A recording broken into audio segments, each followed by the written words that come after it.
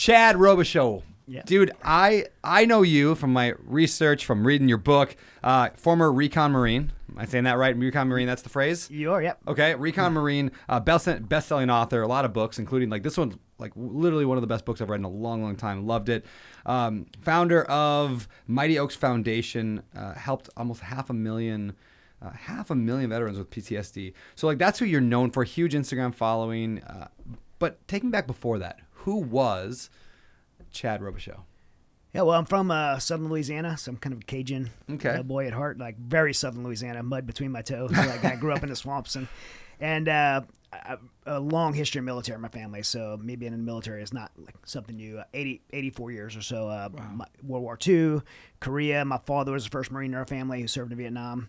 You know, I, I was a Marine, Force Recon Marine, served at JSOC, did eight deployments to Afghanistan. Both my sons are Marines. One of them went to Afghanistan as well. So uh, going in the military was you know something that was something I wanted to do from a very young age as a kid. Probably more so because I, I grew up in a very dysfunctional home because of my father's experience in Vietnam. He came home, didn't get well, and uh, you know it was a very this again dysfunctional home. A lot of physical violence in my home. Uh, physical abuse. I don't mean spankings with belts, like like fist to face physical abuse, and and so I think there was also there was a one sense of me wanting to get away from that and knowing that the military would be a way that I could leave home when I got old enough.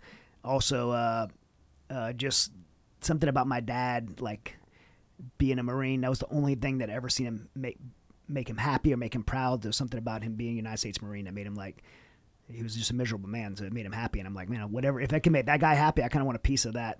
And so my brother and I, he was a year older than me. Um, we were probably we were probably like 13 and 14 years old, and, and we saw this picture of this. I mean, we were always out playing in the swamps and bayous and woods, and uh, that's kind of how I grew up. I've, I've been hunt, like I would go off on my own hunting when I was like in a pirogue, and when I was probably like seven years old, be my first memory of going out by myself with a you know crack barrel 410 shotgun and go hunting. And so I kind of grew up that kind of lifestyle. But we'd always be playing military and stuff, and and we saw this this picture, and I remember this video. Uh, I can't remember the name of the video, but it was these Navy SEALs. And I remember this picture of this Navy SEAL like coming out of the water, and he had like his face was painted green, a boonie hat on, seaweed hanging off him as M16 rifle and twin 80 scuba tanks on his back. And I remember seeing that and thinking, I want to do that. But I don't want to be in the Navy. Right? I want, I, I, there's something about my dad being in Marines, and I want to be a Marine. And, and so I learned about Recon Marines, particularly uh, the Force Recon Marines at Third Force Recon Company, which ultimately ended up serving in that unit in Vietnam. And I became, as a teenager, like fascinated with these these Recon and Force Recon Marines in Vietnam, and, and so that that sparked my interest as a kid to do that. And what is what is the difference between a Marine and a Fourth Marine, Force Recon Marine? Oh, yeah. Like, what does that mean? Well, I mean, you know, Marine Corps, all different types of jobs in the Marine Corps, and then you know, the kind of core function, a core like like a job in the combat arms would be infantry, and then uh and then recon would be the s- small special operations component of the Marine Corps. Uh, so in in special operations, you have two kind of commands that manage special operations. One, Special Operation Command, SOCOM, and the other is Joint Special Operations Command, which brings all those special operations units together. The Marine Corps never had a uh, until uh, the early 2000s never participated in that because the Marine Corps was like. We are self-sustained uh, fighting force. We don't want to participate, and so that was the Marine Corps' internal special operations was recon the top 25% of recon or force recon. So guys have been around a little longer, a little more specialized missions, that's force recon. So if you have a recon battalion which has, you know, Alpha Company, Bravo Company, Charlie Company, then there'll be a force recon company, which are guys that have been around a little longer, handpicked, a little more uh, experience and maybe have proven themselves and become force recon Marines and they get more specialized missions.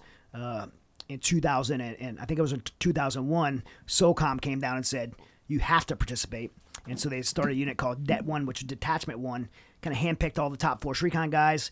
Went to SOCOM, overperformed as expected, and uh, and then the Marine Corps was tasked with giving us a SOCOM asset to the uh, you know to participate like every other branch had to. And so they pulled the fast one and said, okay, we're instead of we want to keep recon, and so they decide to keep recon and start something new, and to start MARSOC, Marine Special Operations Command. Two totally different jobs, uh, and uh, and so Marine Corps still has exclusively recon and force recon.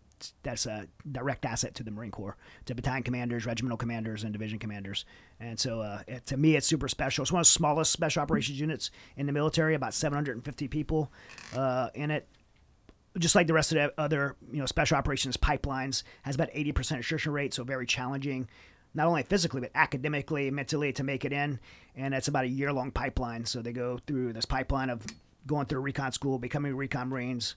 Uh, they go. It's called. They do four weeks of infantry school. Then they go to what's called BRPC, which is just crushing them. Then they go to basic recon course. Once they graduate that, pre scuba, combat diver, where they're doing open closed circuit diving, jump school, military free fall school, SERE school, and then when they get to the unit, they, they're some of them are like 18, 19 years old, have all these skills already. Mm-hmm. Uh, and it's a really great route. Any young men, you know, men listening that want to do that, uh, go that route. It's of all the special operations jobs out there. To me, it's one of the most appealing ones. Uh, you know, they all they all do something a little bit different, so it depends what you want to do. But for me, that's like, you know, where I where I want it to be, and uh, you know, got to do it.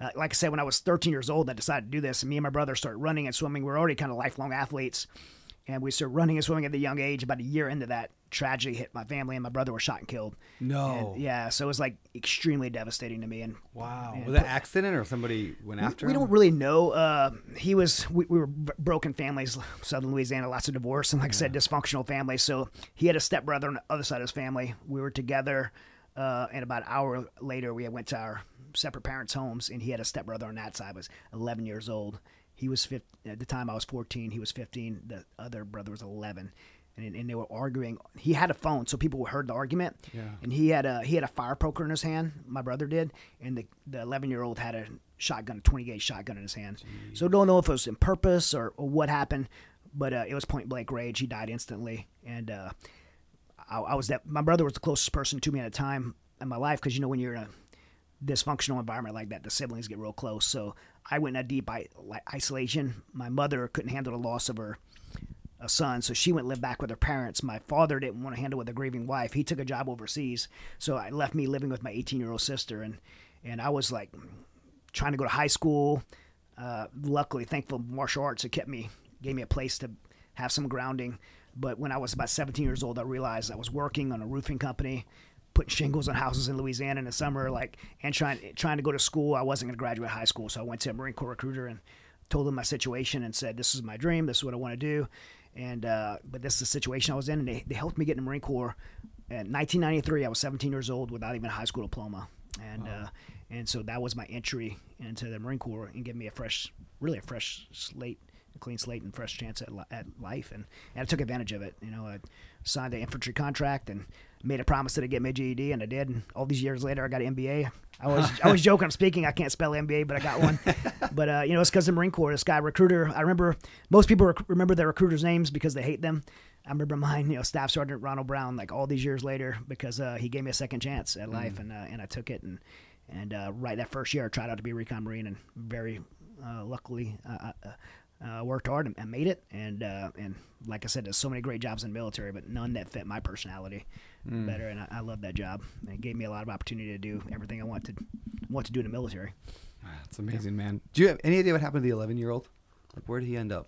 He ended up uh, pretty. He ended up going into uh, some mental health. Uh, yeah, that would mess you up. Yeah, and then and then uh, his father, his ended up in jail. Uh, he ended up in drugs and in jail. And so, I, you know, I think the father probably lost two sons that day. And, uh, you know, I, I, grew up like thinking this guy murdered my brother and stuff like that. But now that I'm older, I'm, I'm like, he's 11 years old. I, I don't yeah. really even know what happened. But, you know, unfortunately, I think two people, you know, yeah. lost their lives that day. Yeah. And, uh, crazy, yeah, man. it was a ter- ter- terrible situation. Uh, obviously, I'm, I'm a big Second Amendment gun advocate. And, yeah. But, uh, but I'm also, you know, big on teaching kids gun safety and at home. I've, I've, had guns in my house my whole life, and and uh, and believe on having you know every American having guns in their home, but also yeah. big on teaching kids about guns. Like I said, I've been carrying guns since I was a kid, and and my, my boys have too, and they always understood safety. And you know, I never allowed toy my my kid my boys still make fun of me. I never ever allowed them to have toy guns mm. uh, that that shot something. You know, I, I, when kids like stick a toy gun in somebody's yep. face, like bang, bang, bang, bang, like always just got to me. Yeah. And so my I always wanted something with a projectile, so my kids knew like there's consequences to pulling the trigger, and I, I taught them that way. And they and they would they would be at their birthday and get somebody buy them a, a gun, and I'd be like, they look at me and they're like, "Yep, we know where that's going." and so, yeah. let's let's get a little controversial here. Make, make some people angry. Uh, in the world where you know, back in when the Second Amendment was written, Right. You know, hundreds of years ago, we didn't have automatic rifles. We didn't, you know, like assault Mm-hmm. rifles. We didn't have anything that we have today hardly at all. They didn't have tanks. They didn't have any of that stuff, right? We had little guns. Mm-hmm. Uh, does the Second Amendment still apply today? Uh, and I mean, I'm assuming yes. Yeah. How how do we justify increasing technology with weapons with the Second Amendment? How do we reconcile those two things? Yeah, uh, you know, I, th- I think it, I think it's a very good question that that on both sides should consider those those factors. The Second Amendment wasn't written for first of all for hunting uh, or, or you know providing food. That was. Which it is was- often people think. people think. Yeah, it was it was written to protect ourselves, and uh, and so you know it, it should escalate with the threat, right? So if I you know if I I'm not gonna be able to defend my home with a musket loader, right? like if somebody's gonna come in my home with a with a Mac 10, Yep. you know they're gonna be faced with my you know Smith and Wesson FPC, uh, in in my in in a you know my optic on it, and they're gonna be you know Yeah. dealt with. Uh, so I, I believe that the threat has increased, and uh, and so does our ability to be able to defend ourselves, which isn't a, a healthy thing for any culture, but that's just it is what that's what it is. And so I think the uh, you know where where America misses it, and you know especially this this administration, this White House, who's just stood up this. Uh, Pretty much what I believe anti Second Amendment uh, division of the White House called I think it's called the gun uh, like yeah, protection yes agency or I don't know. yeah, something like instead that, of a, and they're not targeting an actual problem. They're targeting weapons and they're talking targeting uh, law-abiding citizens who are gun owners. They're not targeting the crimes, the criminals, Mm-hmm. and uh, and so that's where the, the problem really lies. And, and and I think what the the backlash that is more Americans feel the need more so to protect themselves because of that. So you see this, uh, what they're trying to prevent creates a demand. I mean, every time uh, President Obama or President Biden has had this knee-jerk reaction to a mass shooting and, and, and express, you see gun sales spike and ammo spike, sales spike. And so they're actually doing the opposite of what they think they're trying to accomplish. I don't know if that's intentional or not, but, uh, you know, so I believe, you know, when this, when the founders, when the founders wrote this, I don't think they imagined, you know, the technology we would have today and the, the weapon systems we would have today. But they certainly knew that, you know, they would increase. You know, technically, these are br- brilliant people who thought.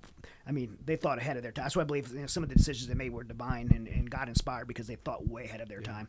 And uh, but I don't think it was written just for that time. I think it was written for a time like like today. And and, and the reason we're able to defend our homes and the reason that we remain a free country uh, isn't just because our military. It's because we have 340 million Americans, most of which uh, out ratio by by the way, I, I think maybe probably estimate about 500 million guns in homes of, of America's, and and that that's one of the things that keeps America free. People wonder, you know, how why we why do I think that we're not gonna see what would happen in Venezuela happen in Venezuela? Because you know the statement come and take it. Like people really mean that here. And uh, and people aren't gonna the government's not gonna be able to come and just grab weapons away from people like in some of these other countries. I don't think that's ever gonna happen in america. And we have far too many guns. I'm an, I'm an ambassador for, um, i'm one of two brand ambassadors for uh, actually there's four two shooters and then myself and travis kennedy are brand ambassadors for smith and wesson firearm. And uh, and honestly the reason why i chose said yes to smith and wesson's firearms when they came up to me is because they're they're a self-defense company uh, they they believe in Ameri- traditional American values and they really stand up for the Second Amendment. And so that was one of the reasons I partnered with them. And uh, and uh, and I, I really get out there and try to advocate for people not only being able to defend themselves, safely handle a firearm, be able to protect themselves and their family, not just by buying a purchasing a firearm because we can as right as our rights as Americans, but training themselves in the ability to safely. Uh, because of what happened to my brother, right? Be able to safely have that firearm in their home, and and when the situation arises, know how to defend themselves, and and be able to use that firearm. So whatever firearm they you purchase, you should be able to be very proficient with that firearm. So how how do we deal with the school shootings? Like, I mean, how do you, in a world where yeah, the guns are not going away. It's a it's a Sure. you can argue that all day long, but you can't take away 500 million guns from mm-hmm. Americans. It's not going to happen. So knowing that, how do we deal with the school shootings? Well, I think how many uh, you know how many mass shootings do we see in the halls of Congress? Uh, we haven't seen any, any, right? Yeah. Not not, uh, and the reason why is because the type of security they have in the, in Congress. You're not gonna uh, you're not gonna have a mass shooter walk into Congress and go shoot up. So why why are we why do we have all the security for you know people who are elected public officials, but have like no security. The softest. As a military guy, if I'm looking, if I'm putting my the, my terrorist hat on, which I've never been a terrorist in America, but I have been in other countries, uh, I'm looking for the softest target. Yeah. And, and, the softest target in America is unfortunately, and it's the truth that everybody needs to hear, is our schools. If, I, if I'm a terrorist and I want to terrorize a, a community, terrorize a nation, and make people feel vulnerable, I'm going to look for the softest target that's going to sting the most in the hearts of the people, and it's going to be just schools. I mean, you, if you can't feel safe sending your kids to school, you don't feel safe at all, right? You, and, uh, and and so we have this softest target that, or gun-free zones. Uh, the teachers aren't allowed to carry and protect themselves. Uh, they're not hardened facilities. Uh, you have private companies trying to come up with every way to make door stops and, and all this stuff. Where why isn't the why isn't our government doing this? Why isn't a school board yeah. having having a have it have a office for school security? Why is why is uh you have one dare officer that's like 400 pounds overweight and can't you know his gun's probably melting in his holster because he never even shot it and you know why why is why is that the uh, not the priority to protect these kids. And so when somebody is mentally ill uh, or mentally deranged or just straight evil, whatever that, it doesn't matter, walks into school and kills you know, a bunch of children. Um, why are we looking at, at guns as the issue? Yeah. Man, you, you it goes 20 steps back. Like, first of all, we should be dealing with the, the mental health. I mean, every time one of these things happen, you look at you, you're able to identify like this person had a pattern mental, mental health. People knew it. Uh, and, and nobody did anything about it. Um, sometimes they, you know, a lot of times the district attorneys, you know, have dealt with this and didn't get the person the help they needed. But oftentimes, if they would have had just a few security protocols in place, the thing would have never happened. They would have been stopped at the door, or you know, and uh, or maybe they would have killed someone, but they wouldn't have killed twenty people. Yeah. Um, you know, and uh, you know, and the thing is also that I think is to be considered is that evil people are going to do evil things. Yeah. And uh, whether they have guns or not, right? I mean, if I, if if I couldn't get a gun in a school, well, I could get a vehicle to drive through a, uh, a school bus stop and and take out people. And so sometimes, you know, evil things are going to happen, and it doesn't mean we're going to be able to solve all of them. And that's a harsh thing to say, but it's just true. I mean, we're in an evil world and uh, and yeah. in a broken world, and and um, you know, there's not always a solution to everything, but uh, certainly disarming good citizens uh, is not the solution. Yeah. So. Yeah, that's a great. That, answer, that's man. yeah, that's my. my it's good, man. I uh, don't disagree with you on that one. Uh, all right, I want to get into another uh, slightly controversial talk, uh, and that is involving just America's role as kind of a police in the world. And there's been a lot of negativity around that. But before we get into that question, I do want to hit the, this week's uh, first you know show uh, sponsor. Now, as we do with every show, all the ad revenue from the show goes directly to a charity of your choosing. So the question is, what breaks your heart and why? And where should we give all the money from the show toward? Yeah, well, um, uh, those listeners don't know, uh, we have over 20 something veterans in our, uh, uh, in our country that take their life every day. Uh, so, Jeez. veteran suicide is a all, is an epidemic in our country. Uh, many people might think it's a thing of the past. I was just speaking at First Marine Division, and uh, and I was reported they reported reported there that currently in the Marine Corps is the highest on record suicide rate ever and that's just that's in September of this year. It's already broke the record of ever the highest suicide rate. So right now, this is a major problem. Uh, Mighty Oaks Foundation is the foundation that I found, founded 12 years ago uh, on our resiliency events, have spoken over half a million active duty troops on suicide prevention and resiliency. Uh, we have recovery programs. We do about eight million dollars a year in programs for free. We, we bring active duty service members, veterans, first responders, spouses to these programs. Uh, we have five ranches around the country, and we, we help. We level them. Well, we do uh, faith-based peer-to-peer mentoring, plug them in the aftercare system, and it's just an incredible program that we've successfully helped you know thousands of, of people through, and and they equip them to go back and help others. This pay it forward type program, and so uh, that's what I my full time job is, and the CEO and founder of this organization. And it's just a privilege, probably one of the most humbling things I've ever been part of to be able to work there and, and, and help pay forward to others what people did for me when I came home.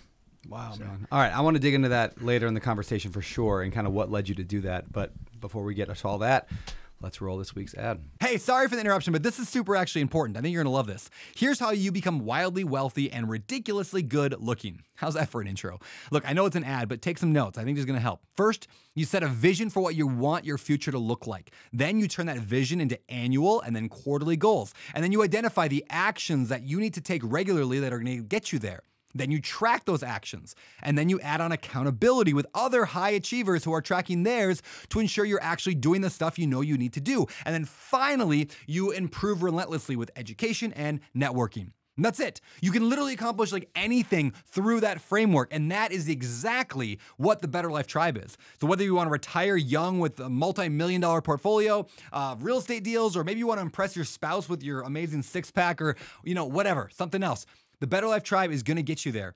And while the tribe only opens a few days every year, you can be the first to hear about our next opening by joining the waitlist at abetterlife.com slash wait. That is abetterlife.com forward slash wait. All right, man. Well, yeah, like I said, I want to get more into a little bit later the PTSD and, and what you're doing there to help. Uh, but first, you know, as an American, sometimes I tend to feel guilty uh, mm. in terms of – why should we be the police of the mm. world? And especially the media today and over the last 20 years has more increasingly made Americans feel guilty for being involved anywhere else. Like we, yeah. we shouldn't have a say in that. Like why are we involved in Iraq, Afghanistan, you know, Syria, anywhere? Mm-hmm. Uh, we should just stay out of everyone else's business. Yeah. Uh, are we the police of the world? Uh, and mm. why? Like how are we able to do that? Why is that okay? Yeah. Well, first of all, I mean, I think the strongest kid in the playground has a responsibility to to police the play police the playground sometimes, right? If there's a bully, if there's a bully taking kids' lunch money, somebody needs to walk over and punch him in the nose mm. and make sure he stops taking other kids' money. So, I mean, America is the strongest and greatest nation in the world. Period. Uh, I mean, um, we're not where we were, and we're not where we should be, and uh, and um, and we're losing more and more freedoms every day. And uh, you know, I'm not content where, Amer- where America is, but I'll tell you from someone that's been to over 60 countries around the world, this is still the greatest place to live on the planet, mm. uh, despite all of our junk going on. And, uh, and we still have the greatest military force in the history of the world. And there, a certain responsibility comes with that. And so when you see injustices around the world, uh, genocides and tyranny around the world, and uh, pe- you have people around the world who can't defend themselves, legitimately can't defend themselves, but want to, and they're being victimized there is a responsibility that comes with, with that. And I think sometimes that responsibility means going in and help people.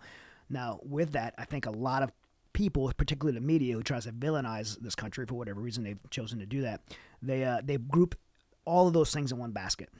Iraq was very different than Afghanistan. Most mm-hmm. Americans think that the global war on terrorism, Iraq and Afghanistan, are the same thing. And, Until it, I read your book, I never thought of them as separate. That sounds yeah. so silly now to no, say that. Most Americans do. Yeah, I just assumed Iraq, Afghanistan, same thing, same yep. problem, same people, same issue. So, so such two totally different scenarios. Uh, and then, so sometimes we're placing the world, and sometimes we shouldn't be. To be honest with you, I'm a, I'm yeah. a nationalist. I believe that you know a, a, strong America has the ability to defend people around the world, but we have to be a strong America first. So, I, I, as a nationalist, I believe that we should come first. Mm. Uh, but so sometimes we have police around the world. But there's but then uh, places like Afghanistan, we weren't going there for the Afghanistan's interest. We went there to retaliate for 9/11, uh, to eradicate the Taliban, to defend our national interests and national security and the global security of terrorism. That's why we went there. Now politicians chose to stay there and do nation building, which and some it depends on the day. Like sometimes I might agree with that because uh, there's some good things, but other times I think you know maybe we we overstretch and try to put democracy in a place that doesn't want democracy. And, and America has a history of doing that. Yeah. Uh, so that, that, there's you know so there's some some truth to that. But I think if you if you're gonna have that view, you should look at each scenario and make the decision like you know what is America doing in this part of the world? Why we're there? Because this thought is what led to the what, what led to the I won't say it led to the surrender of Afghanistan it led to the justification that the White House used for the surrender of Afghanistan. I'll say justification because they knew better. President Biden knew better than to withdraw from Afghanistan but he did it anyway. And he used that as a justification. He lied to the American people, and every news media outlet lied to the American people so much that I think most Americans believed it. We're in a 20 year war. It's an endless war. We can't continue to kill America's sons and daughters. Why we fight this war? The Afghan people won't fight for themselves. Why should we defend them? We're spending billions of dollars. So all these things we're told over and over. We're like, oh, that's right, right. And then after it's over, like, okay, the withdrawal was messed up, but we had to leave anyway. We could have just did it better. No, like we had 2,500 troops there. Uh, President Trump should have declared a victory of the Afghan war on terror in, t- in 2018. He didn't. I don't know why he didn't. He was planning on doing it after the election, and and and he, I think he screwed himself on it because he should have declared it. The truth is, what we were actually doing since 2018 was supporting and advising the Afghan National Army and Afghan National Police. And this is what America does really well and creates global st- global security and security for the best interest of the United States. This wasn't policing Afghanistan and building democracy in Afghanistan. It was putting the Afghans in a position for them to fight the Taliban in the mountains of Afghanistan. And what we did over 20 years is we built this uh, base, Bagram Air Force Base. That's, by the way, the most strategic place in the globe between Iraq, Iran, Russia, and China. The entire international community was participating in this strategic location, and it was working to keep the Taliban at bay in the mountains of Afghanistan. Our troops wasn't fighting. Our troops were supporting and advising the Afghan National Army and Afghan National Police. Now, special operations are fighting, but we do that all over the world anyway. So that's not, I mean, conventionally, we were not fighting. And so this system was working really well. And at one point, we had 2,500 troops there. During the time of the draw, I think the number was like 3,800 troops. And and this is and you got the president of the United States saying we have to get out. We in this. I can name 12 places right now if you quiz me. Uh, places we have 2,500 troops around the world. They're just not talked about because it's not super Sure. popular. Uh, and it's not politically. There's no political incentive for saying it. Like places like Djibouti, Africa, we have like we have like 3,700 troops there right now. So to say that Afghanistan was different, it wasn't any different. And if you really want to contrast that, since World War II, we still have 80,000 troops in Japan. Since World War II, we still have 40,000 troops in Germany. Since the Korean War, we still have 35 uh, 35,000 troops in South Korea, protecting that 30th parallel from keeping the North Koreans coming over. That's not because we're starting wars and staying prolonged wars or, or policing the world. That's so we keep global stability. Because if the U.S. didn't maintain those places like we did after World War II in Korea, it would create a collapse and instability would happen. And that's what's happening in Southeast Asia right now by leaving Afghanistan. And that's why you see guys like al Zahari, who's uh, ISIS, walking around Kabul and, and the White House is high fiving because they killed him. And I'm like, I'm glad he's dead, but why was he there? The Doha agreement that you guys signed with the Taliban said he shouldn't have been there. You gave a terrorist regime, the most evil one in the world, a country in a hotbed of terrorism in the most strategic place on the globe that our enemies, China, Iran, North Korea, they all wanted that place and we gave it to them. And by the way, we didn't even talk to our international partners. We didn't advise them were doing this. We didn't talk to the Afghan government. We spent 20 years putting in place. The only people we talked to behind closed doors was the Taliban, enemy of 20 years, and, and through this Doha agreement, which was an agreement to say, we'll let you have this country, but you can't have any terrorists come there or you can't conduct terrorism, which is null and void from the sign of the contract because the Taliban are terrorists.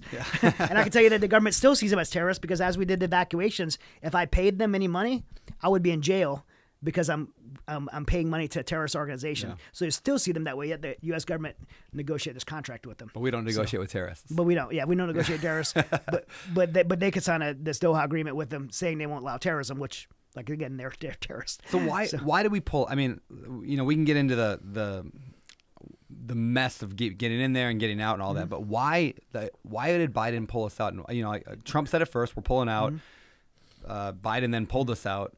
Why? Like, what was it? Political? Like the election season coming up? What was that? Well, I'll say this. First of all, Trump Trump did initiate this, and I don't agree with that. Uh, I, I was just I was the veterans policy surrogate on the Trump campaign, and I will say, and I would say it if you know President Trump was in here, I did not agree with him initiating that conversation. However, there was a difference in the strategy, and, and Mike Pompeo, Secretary Pompeo, say this. Um, what President Trump intended to do was declare the victory, hand Bagram Air Force Base over to the international community, and then the U.S. So this base went, went to the Taliban, and the and the it would have equipped the Afghan National Army and would have kept the contingency there. So it would have been a coordinated thing. It would have maintained Bagram Air Force Base. And the deal with the Taliban, again, I don't agree with him having to deal with the Taliban, but what his deal with the Taliban was, it was, it was, uh, it was terms. There was terms for it. They had to agree to these certain terms and not a timeline. So Biden came in and said, uh, "We're gonna we're gonna leave by a certain timeline," and there was no terms attached to it. There was no consequences attached to it. So there's a big difference in those two strategies uh, when Biden said he was going to do this, uh, and I don't even want to call it a draw. It was surrender to the Taliban. Uh, it wasn't a botched withdrawal. It was a full surrender to the Taliban. First of all, you have to know his Joint Chiefs, General Milley's office, and all the generals advised against it. Um, they were on record advising against it. All the intelligence leader, uh, community leaders advised against his own appointed cabinet members advised against it. They were, we have what's called 12 diplomats on the ground. Any country we have around the world, there's the RSO, Regional Security Officer for the State Department. That's represents the State Department. You have an ambassador there. We have our uh, chief of station who represents the CIA there, and there's diplomats on the ground. And their responsibility is to be able to assess the, the climate of that area and be able to advise the Secretary Blinken of the State Department, and President Biden in the White House. Those 12 diplomats sent a what's called a dissent cable, a secure cable, to the White House and to Secretary Blinken, was Secretary Blinken's office to advise the president, do not withdraw, do not execute this withdrawal. Afghanistan will collapse, and uh, and that was hidden. It came out during the Senate hearings, and to, and uh, Congress had to actually subpoena it. Secretary Blinken still didn't want to turn it over. He had to threaten to hold him in contempt. Would have been the first time in history. And then when it came out, we've seen these 12 diplomats advise. So the, I'm saying all that to say President Biden had every 100% of his advisors told him not to, yet he alone chose to do it anyway. Even his Secretary of State, he alone chose to do it anyway. So I can't say his motivation. I can't speak to his motivation. I could speak to, to the only thing I could do is reverse engineer it and speak to who benefited. The only person that benefited from the withdrawal of Afghanistan or surrender of Afghanistan was not the American people. Certainly, it wasn't our international partners who knew nothing about it. And now they're the world's more dangerous place because of it. It wasn't the Afghan people, the 40 million Afghan people, uh, 20 million women and little girls that are now sexually enslaved as young as nine years old. It, it was and starving to death and freezing to death. It, it wasn't the uh, our SIVs who the th- hundred thousand SIVs we left behind or our Americans we abandoned there. The only people that benefited this was our enemies, China, Iran, uh, Pakistan, ISI. That's the main beneficiaries. Pakistan, ISI because it's the most strategic intelligence uh, place in the planet. Uh, uh, Iran because they, from a security standpoint, they wanted Afghanistan as well, and they want to be able to move sanctioned oil to to uh, China, who wants to buy it. Uh, So Afghanistan's in between China. it's and Iran, between, right? yeah. And the only way they can they can move it across that land or pipeline, which they're already building, they were already building infrastructure. They just couldn't do it, and so immediately they started moving sanctioned oil. If you, that that uh, trade that that this five for five Americans for Iranians, there was six billion dollars attached to it. You remember that? That we Yeah, like, why did we give them six billion dollars? That that six billion dollars was from Iran, uh, Iran, China. Uh, sanctioned money that was seized, Hmm. and so they they immediately start moving money because that was over a ship. Now they're doing it across land. So Iran wanted us out for that. China wanted access to it. Also, China wanted it, and China also wanted the mineral rights to the lithium mineral rights in the Hindu Kush mountains, uh, which is worth they say trillions of dollars, but it's probably infinite amount of dollars. Uh, by the way, you know, um, America's creating demand for that with the electric cars and everything like that. So you're talking like infinite amount of money. And I, I said this in uh in June of 2021 in July that this was the motivation, and I I got hammered saying it was conspiracy. Well, we left August 31st and September 1st. Uh, the Taliban gave China those those mineral rights to those, those mineral rights, and so I can't say why President Biden made the decision, but I can easily point to without conspiracy who benefited from it, and uh, and you know again Pakistan ISI pretty much runs uh, runs Afghanistan now. The Taliban is just a, a front, just a face, um, but they don't run anything. They're a bunch of uh, degenerate cavemen Yeah, with, with guns. So, yeah. Wow. So who is Aziz? So um, after uh, 9/11, during 9/11, I was I'd already been in almost 10 years. I was sergeant at Third Force Recon Company. I was a one I was a military free fall team leader, um, and um and so when 9/11 happened, uh, I knew you know we're going, uh, and uh, and I I thought my unit would deploy right away, and we didn't. And so I had this opportunity to try out for a JSOC task force, Joint Special Operations Command Task Force.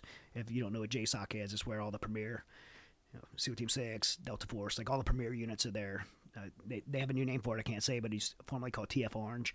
All these uh, units that our our best special operation unit, units are at uh, at JSOC. So uh, I tried out, got accepted, and went to one of those units and, and did uh, and ultimately did eight deployments um, there. So I got to represent the Marine Corps uh, at that unit, and um, and my job there was AFO, Advanced Force Operator, which not a lot of people know about it. It's probably the closest thing to being undercover. You work in a singleton capacity by yourself, and you get teamed up usually with local nationals. Like you're by yourself. You're not. You're out there. Yeah, like I was say, saying earlier, him like like I, I didn't. Uh, I, I eight deployments. I probably spent two weeks on a base. Like I, I, uh, I would. Me and Aziz partnered up. He started as my interpreter, became my teammate, highly trained uh, as my teammate, and ultimately, you know, became a friend. And so we spent uh, pri- probably over 100 operations where we go in non-permissive areas where conventional military is not allowed to go look for and, and orchestrate the operation to put our assaulters from our, our, our command on, target to capture, kill bad guys. And my command was like whoever was top 10 on the list, you know, Bin Laden being number one, you know, to number 10, whoever that's, that's who we were going after. So, so they, they identify a target and we need to get our assaulters on this target to capture, kill this guy. Aziz and I would go spend weeks, sometimes months in that area building all the clandestine infrastructure to have the ability to get safe, get the guys safely a target, have all the logistical assets they need on the ground, and then safely get off with all the contingencies in place for anything that would have went wrong. And so that's was my job. You know, I think a lot of people think, you know, special operations, you know, JSOC task force, you know, kicking a door, shooting bad guys in the face, uh, you know, part of those teams, but mainly my job was was AFO. Did the the Afghans know that's what you were doing when you were, uh, or were you, hey, I'm just a tourist hanging around? Like, what was your? No, that's part of being AFO is, is building a really not shallow but legitimate cover. So Yeah. like you know, building businesses and setting up things, and you, you, you try to get all the Afghans, local nationals, to do that for you. Yeah. And then you're just there, kind of orchestrating it and doing your other job. You know. Yeah. Now now you have some people that are witting, very few. Aziz would have been one of the witting people that knows what's going on, and then you have some people that are partially witting, all the way to people to most people that have no idea what they're involved in. And uh, and so you know, and it's not like I said, it's not a very shallow thing because you're not you know you're not down in Washington D.C. putting a hot dog stand up and taking pictures. You're you're in another country with foreign intelligence agencies, so you better have your stuff wired-tight. And uh, a tremendous amount of training to do that that job. And and uh, I didn't even know the job existed until I actually uh, went to do it. And uh, and I could tell you like. I don't know if I would have been interested in it before, but once I did it, that was like there's a lot of great jobs in special operations, kind of niche, little unknown jobs. But for me, there's probably nothing that fit my personality more. Like I love doing that job, and uh, and and I, cou- I couldn't imagine doing it with anybody else besides Aziz. You know, as we like I said, we spent weeks, months out in those mountains, and he saved my life. I, I'd say specifically, like saved my life on three occasions specifically, but probably uh, saved my life every day. Like don't walk there, don't eat that, don't talk to that person. If you talk right now, they're gonna kill us. Like he just uh, he was just there for me, always looking out for me. And uh, you know, I give some examples of uh, if you want to like some, Sure, some man. of the kinetic times he saved my life. But Dude, uh, let's hear it. But uh, yeah, so one uh, I hadn't shared until recently. I don't. I, I didn't even write it in the book. Um, and uh, and uh, so I know the Pentagon didn't redact this. by the way, if you read the book, that's a lot of Yeah, redactions. redacted There's stuff, yeah. redactions because they had to go through a Pentagon review because of my time at JSOC and Pentagon had it. They had it for like I think six or seven months, and it came back with a. And, and I I left all the black lines in it. Uh, and by the way, you can't hold the candle up and see the words underneath. Yeah. Some people ask me that, if but uh, yeah. So uh, we were in a place called Batakut, Afghanistan, uh, which is uh, you know kind of towards out towards Jalalabad, which people some people more heard more about Jalalabad. Batakut's like this farming village. It's really beautiful, by the way. Like I think everybody thinks of Afghanistan as like desert and rocky mountains. It's, I mean, lush green like pine forest and, and, Really? and gray granite rocks. It's just beautiful. And uh, and Batakut's like this high altitude like farming village. It's uh, I mean, the the agriculture's great there. The soil's great, and and uh, so we were. It was middle of winter. I remember I like tundra, like cold, and uh, and we and we parked in the woods in these pine trees, and we walked across this field that nothing was growing in at the time. It was winter, but I remember being like like just so irritated with Aziz because we're walking through this like like ankle like ankle deep sloshy snow mud and I'm like freezing cold and I'm like man Aziz you're dragging us through this mud. That, that mud ended up saving our life later. So we walking through this mud and we get to the other end of this field and um and we get to the field there's old farmers there and he came over and told us and he's talking to Aziz and I couldn't understand what they were saying and basically what he said was the Taliban's here and they're looking for a foreigner that he knows here, which was me. And so we're like, hey, Aziz is like, hey, brother, we have to get out of here. And so we start walking back across that field. Now this field's a large open danger area, and the road's about 100 yards behind us. We both had, we had AKS and AK-47, and uh, and you know just regular plain clothes on. And uh, and I remember hearing those three trucks like drive behind us. I caught them out of my peripheral because they actually were bold enough to have Taliban flags, the black flags flying, yeah. which meant they were pretty. His U.S. military conventionally was not there at the time. And uh, as I drove by, I remember them hitting the brakes and backing up. And uh, I'm like, man, we're you know these guys are gonna you know try to try to stop us. But I'm thinking like, one, they're not gonna they can't drive their trucks in that mud, which I said that mud ended up being a good thing because they would have got stuck. And and two, you know, Taliban's there's not a lot of like people think of like random crime. Like if you're in the streets of Chicago and you go in the wrong area, you're probably just gonna get killed. The Taliban usually like they want permission. They don't want to do anything without permission. So they don't know who we are. They're not just random. I'm thinking they're not gonna randomly just shoot us. They, and, and we're not gonna certainly walk to them. So we're just gonna keep walking and ignore them. Twenty or thirty of them get out of the trucks and they start yelling at us. And uh, just so we're just ignoring them. I couldn't understand what they were saying because they were speaking Pashtun. I, I spoke a pretty good Dari at around that time, but I heard the word Bosch, which in both languages means stop. And probably the only thing that stopped was my heart. And uh, and uh, again kept ignoring them, and we had talked about what we would do as far as immediate action drills. if anything happened. And we talked about doing a bounding like a Australian peel out of that field. And uh, I'm never thinking we would have to do it. And uh, I, I remember hearing like uh, I don't know if I heard first. I've been talking about this a lot lately. I don't know what I heard first. I either heard the gun fire or or the pop. uh, If you ever, hopefully, you never had a round crack over your head, but if you did, it's like you just hear like the air like kind of like break over your head. Uh, and anybody's been at rifle range and oh, in the butts of a rifle range, you hear that. But I heard that round break over my head, and and, uh, and I remember thinking like, if we run, they're gonna kill us. We're gonna try to run through sloshy mud in the middle of the open field. If we just throw our hands up and turn ourselves in, they're gonna capture us or kill us. Uh, the only option in that moment is like, you know, we're outnumbered two to in the middle of open field, 100 yards away, two to two to 30. Like, we, the only option still is to fight. And so I, I turned around. I, I just stayed in a standing, like standing. I turned around, and the first person I saw was you know, there was 30 guys there. The first person I saw was was a guy standing against the passenger door of his red pickup truck, and he had his AK-47. And I just fired two rounds right center mass, and I thought I missed him because the window behind him busted out. And uh, so I actually thought I missed him. I remember thinking like, "Ah, I can't believe I missed this guy. Uh, and uh, and but I think he went back and his head probably hit the window, and he fell. And it was like I was expecting like a hail of gunfire to come Yeah, back at us, but I think we shocked them. I don't think they thought we were gonna fight, so they actually ran behind their the trucks, and, and I just yelled at Aziz, "Move!" And so we initiated this uh, bounding, which is I continue shooting, so emptying my magazine while Aziz is moving.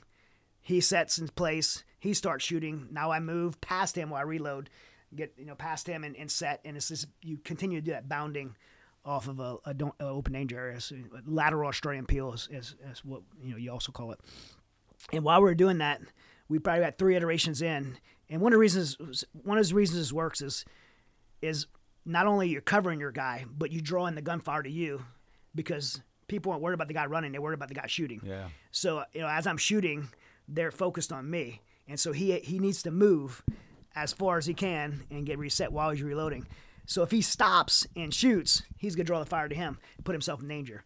And so when I seen him stop in my peripheral, I'm like, "What's he doing?" And then he shoots. Well, I didn't I didn't know what he put himself in danger.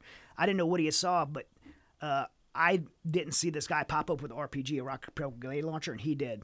And and that fire would have came to me. So that guy would have launched that rocket at me and, and took me out. Maybe took him out too. But uh, but I never saw it. He stopped in the middle of being covered, exposed himself, and shot that guy and dropped him before the rocket went off. And when that happened, we were just both like, I was just like, run, and we, we just ran in a tree line and, and drove off. We got back, we went back to our safe house. They couldn't drive across that field. Reported it, and uh, and uh, our contact the command was like, uh, we, we couldn't talk to the CO or XO at the time. Um, so we talked to the CI guy, and he's like, "Oh, you guys, you think it's compromised? Because the operation was still like ten days out." And we're like, "I don't think so. Like we, they just like chance contact. Like uh, I think they thought a foreigner was there, but I don't think it's compromised." And so Aziz was like, "No, man, we're, we're good. Let's stay." And we stayed there another ten days, and the command came in and. The capture kill. They, actually killed that guy who was number six on the list. Really? And uh, yeah, so that was one of like several times he saved my life. I mean, we went another time. I just he just got recognized before Congress. We went and did recovery of these four SEALs from Dev Group uh, that was trapped in this Taliban village, and you know Dev Group certainly would have got him out. They'd have probably killed everybody in the village though, and the mission would have been compromised. So they asked us to try to do a clandestine extraction first, and and I, they, I was me and Aziz and one other Afghan, and and I was like kind of lost for how we are gonna do it, and Aziz was like just let's just drive in there and get them. And we drove through a night and we got those guys. And so he got recognized. I think he's the first Afghan ever to get recognized before Congress and something like that. Wow. And so he's just an amazing human being. And when we went and when Aziz and I wasn't operating, I didn't go back to base and, and he went home. I went to his house, like a, his wife Hatra, like, you know, weeks in those cold mountains and your first warm meal, like he, she'd make our first warm meal, it's palau with lamb. And, and then I held his, his son Mashud when he was born and his, and his baby girl Mashud when she was born. I held them as babies. Like they're family to me, man. Like, so, uh, you know, in, in, and in 2006, we had a compromise on operation. I wrote about in the book this guy, uh, Bashir. he was from, he was, he was a double zero guy with the CIA. What's Came double o- zero? Uh, it's, a, it's a Afghan and SIV, uh, Afghan inter- like interpreters, or not really interpreters, Afghan soldiers that work with the CIA. Okay. And uh, and and then he's tried out for this special program. Came over to us. We trained them to work with us, and me and Aziz spent like, like I slept on the side of mountains with this guy, like just be him and Aziz before like, dude was like he was solid, and uh, and for some reason I don't know why, uh, maybe he got extorted or whatever, but he turned over to the Taliban, and when he did, he uh, 12 of our teammates were captured, two Americans and 10 Afghans were killed. And it may not sound like a big deal, but these Afghans were like they were like family to me. Like I ate in their homes, played soccer with their kids. Like I love these guys, and they love me. And they were they were three years I was in a you know close personal relationship with these guys. So and they were I was responsible for them. So it's devastating to me. In addition to that, Aziz was compromised now, uh, and has been since. So he had to operate in different capacities since then. Uh, uh, they drove a vehicle bomb in our house, uh, my house in Kabul, and none of us was there, thankfully. But our guard, we suspect, was killed. And then, uh, and then I ended up being abducted by a foreign intelligence agency. I can't say which one; it's redacted in the book. But uh, if you read the book, you probably you probably could put the piece together. Which foreign agency grabbed me, heavily interrogated me, and then after that, we still kept operating, and we caught it. We caught Bashir. Our unit caught him, put him in uh, Bagram jail. He had tons of like data on where we slept, who slept in which bed, where our safes were, our routes, our times, uh, vehicles. Like he was plotting on us and giving that to the Taliban. He went to Pul-e-Charkhi jail. Uh, from there, went to some guys went to Guantanamo Bay. Other guys went to Saudi. And in 2011, uh, President Obama did a mass release of Taliban prisoners, and he was released. He went back mm. to the Taliban, became a leader. And so when President Biden makes that announcement for the withdrawal, Bashir contacts Aziz and says, "I'm coming to get you." Kills another guy that used to work with us, and and tells tells Aziz that now I'm in charge of Kabul now, and I'm coming to get you and your and your wife and kids. So when when when this happened, it wasn't like, oh, Aziz they're gonna withdraw. Aziz is gonna get, you know, he was a te- he was a ter- interpreter, so he's gonna get killed. No, this is very like personal, and we had tried since 2016. Aziz did 15 years at JSOC. Since 2016, we had been putting in for his SIV visa process, which is only supposed to take nine months. Uh, but all these guys that worked in these classified programs, the paperwork was super complicated, and the State Department doesn't have any common sense. I mean, best way I could describe it is like go to, you go to DMV and they're like, you're like I just moved here, and they're like, well, we need your you know we need your electric bill. I just moved here. You know, it's like stupidity at the highest level. So Aziz, because of that, was stuck in Afghanistan for the last six years when he rightfully should have came here. And I know people in Congress and Senate. I have a lot of connections, and still couldn't pull it off. And so I was like, we have to make we have to get Aziz out. Like he's my friend. We, we're going to get him. That's common, isn't it? There's a Very lot of common. interpreters that can't they can't get out. very very common. I mean, I was uh, I mean, not only before like like all these guys. First of all, like in 2009, uh, Congress and Senate made this agreement. Uh, I don't have the the bill number with me, but uh, but essentially was is if they contractually fulfilled their promise to the United States government, then they would have a nine month process uh, initiated for the path to citizenship. All they needed was a contract number, a letter, a letter reference from their superior, background check. It's supposed to be a pretty streamlined process because they're contract contractual uh, obligation. You know, so people could push back and say, hey, you know, they shouldn't come here, whatever. You know, just because they served with us, they shouldn't have that right.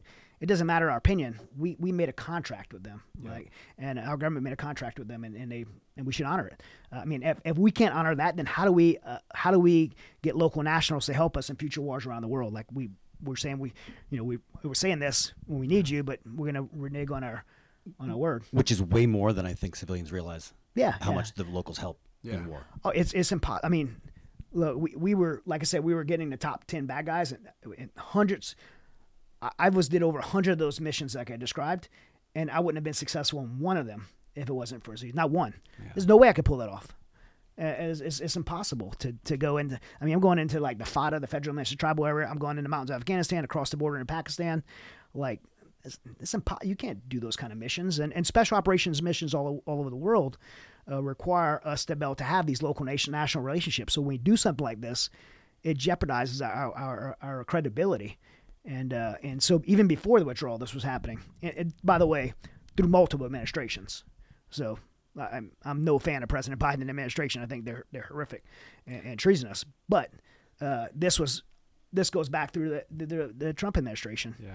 And uh, you know, and President Trump, I, I think, was very unaware of some of this stuff, uh, and he surrounded himself by a lot of the wrong people when it comes to this stuff. And uh, you know, I hope if he if he has the the opportunity to get back in, that he learned his lesson and surround himself by uh, people that actually care about this country. It, it blows my mind that I mean maybe it shouldn't blow my mind, but like you know private companies like we have like you know in a capitalism type society we have an incentive to make things better, faster, you know more efficient to improve. And so of course the government there is no desire like there is no incentive to make that paperwork go from two years down to one or from eight years down to one. Like there's no incentive, so No. nobody cares, right? This is the DMV problem, it's whatever. But I don't understand why the government I don't know, can't bring in entrepreneurs to like, hey, you're in, you know, you're in charge of this. You just ran Apple for ten years. We're gonna pay you twice as much to come fix the DMV, or we're gonna pay you, you know, And- why and it would can't be cheaper, happen? right? It would, it'd it'd probably be yeah. cheaper because uh because they they the government solves a problem by hiring more people. Yeah. they have the, the I mean the VA is the, the perfect example. It's the second biggest government institution next to the Department of Defense, and it is so broken. I. Yeah. mean, it, anybody that goes to the VA will tell you like it's one of the worst experiences of, of their life. They, I mean, sure they do help some people, and there's- I'm not saying everybody works for VA is bad people. There's some good people that work for the VA, but as an institution, Mm-hmm. it is completely broken. If it, it, it wouldn't it wouldn't survive in, in the civilian world, you take the government uh, government side away and it made a civilian entity, uh, any good CEO would kill it the next day. Like this, shut it down, liquidate everything, start over. Yeah. Uh, it's it's that bad, and uh, but a civilian entity could stand up and and and, and solve that problem for probably a tenth of the cost and, and actually have some good customer satisfaction, which Yeah. would be great for our veterans. And who and who fills the gap in? NGOs, non. So the American taxpayers pay twice. I love that we, we get. I raise about eight million dollars a year to do Mighty Oaks. I've, I've raised about fifty million dollars since I started Mighty Oaks doing veterans care. I'm very thankful to our donors, and I- hope this doesn't hurt me in my fundraising. But I'll tell you, like you're paying twice.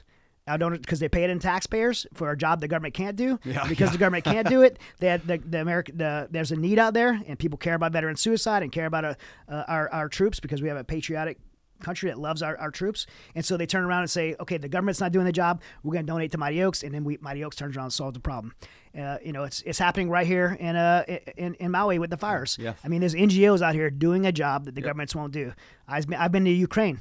Uh, for the last, uh, I did ten trips last year to Ukraine. My uh, my team's out there continuously right now.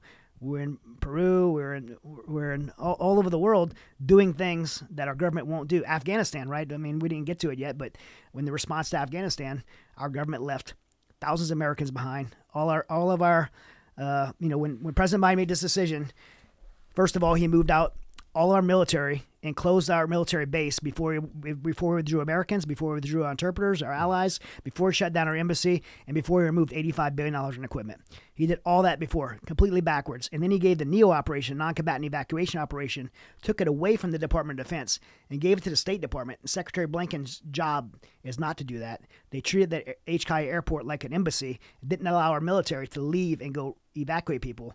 Basically, they had to make it there themselves, gave out a perimeter to the Taliban and created a scenario to where Americans couldn't evacuate, our allies couldn't evacuate. $85 billion in equipment got left behind, and people started being mass, you know, mass killings across the country, like overnight. They knew it was going to happen, by the way. I don't think this was a mistake at all. Uh, they knew that was going to happen that way, and I, don't, I couldn't tell you the motivation of why, again.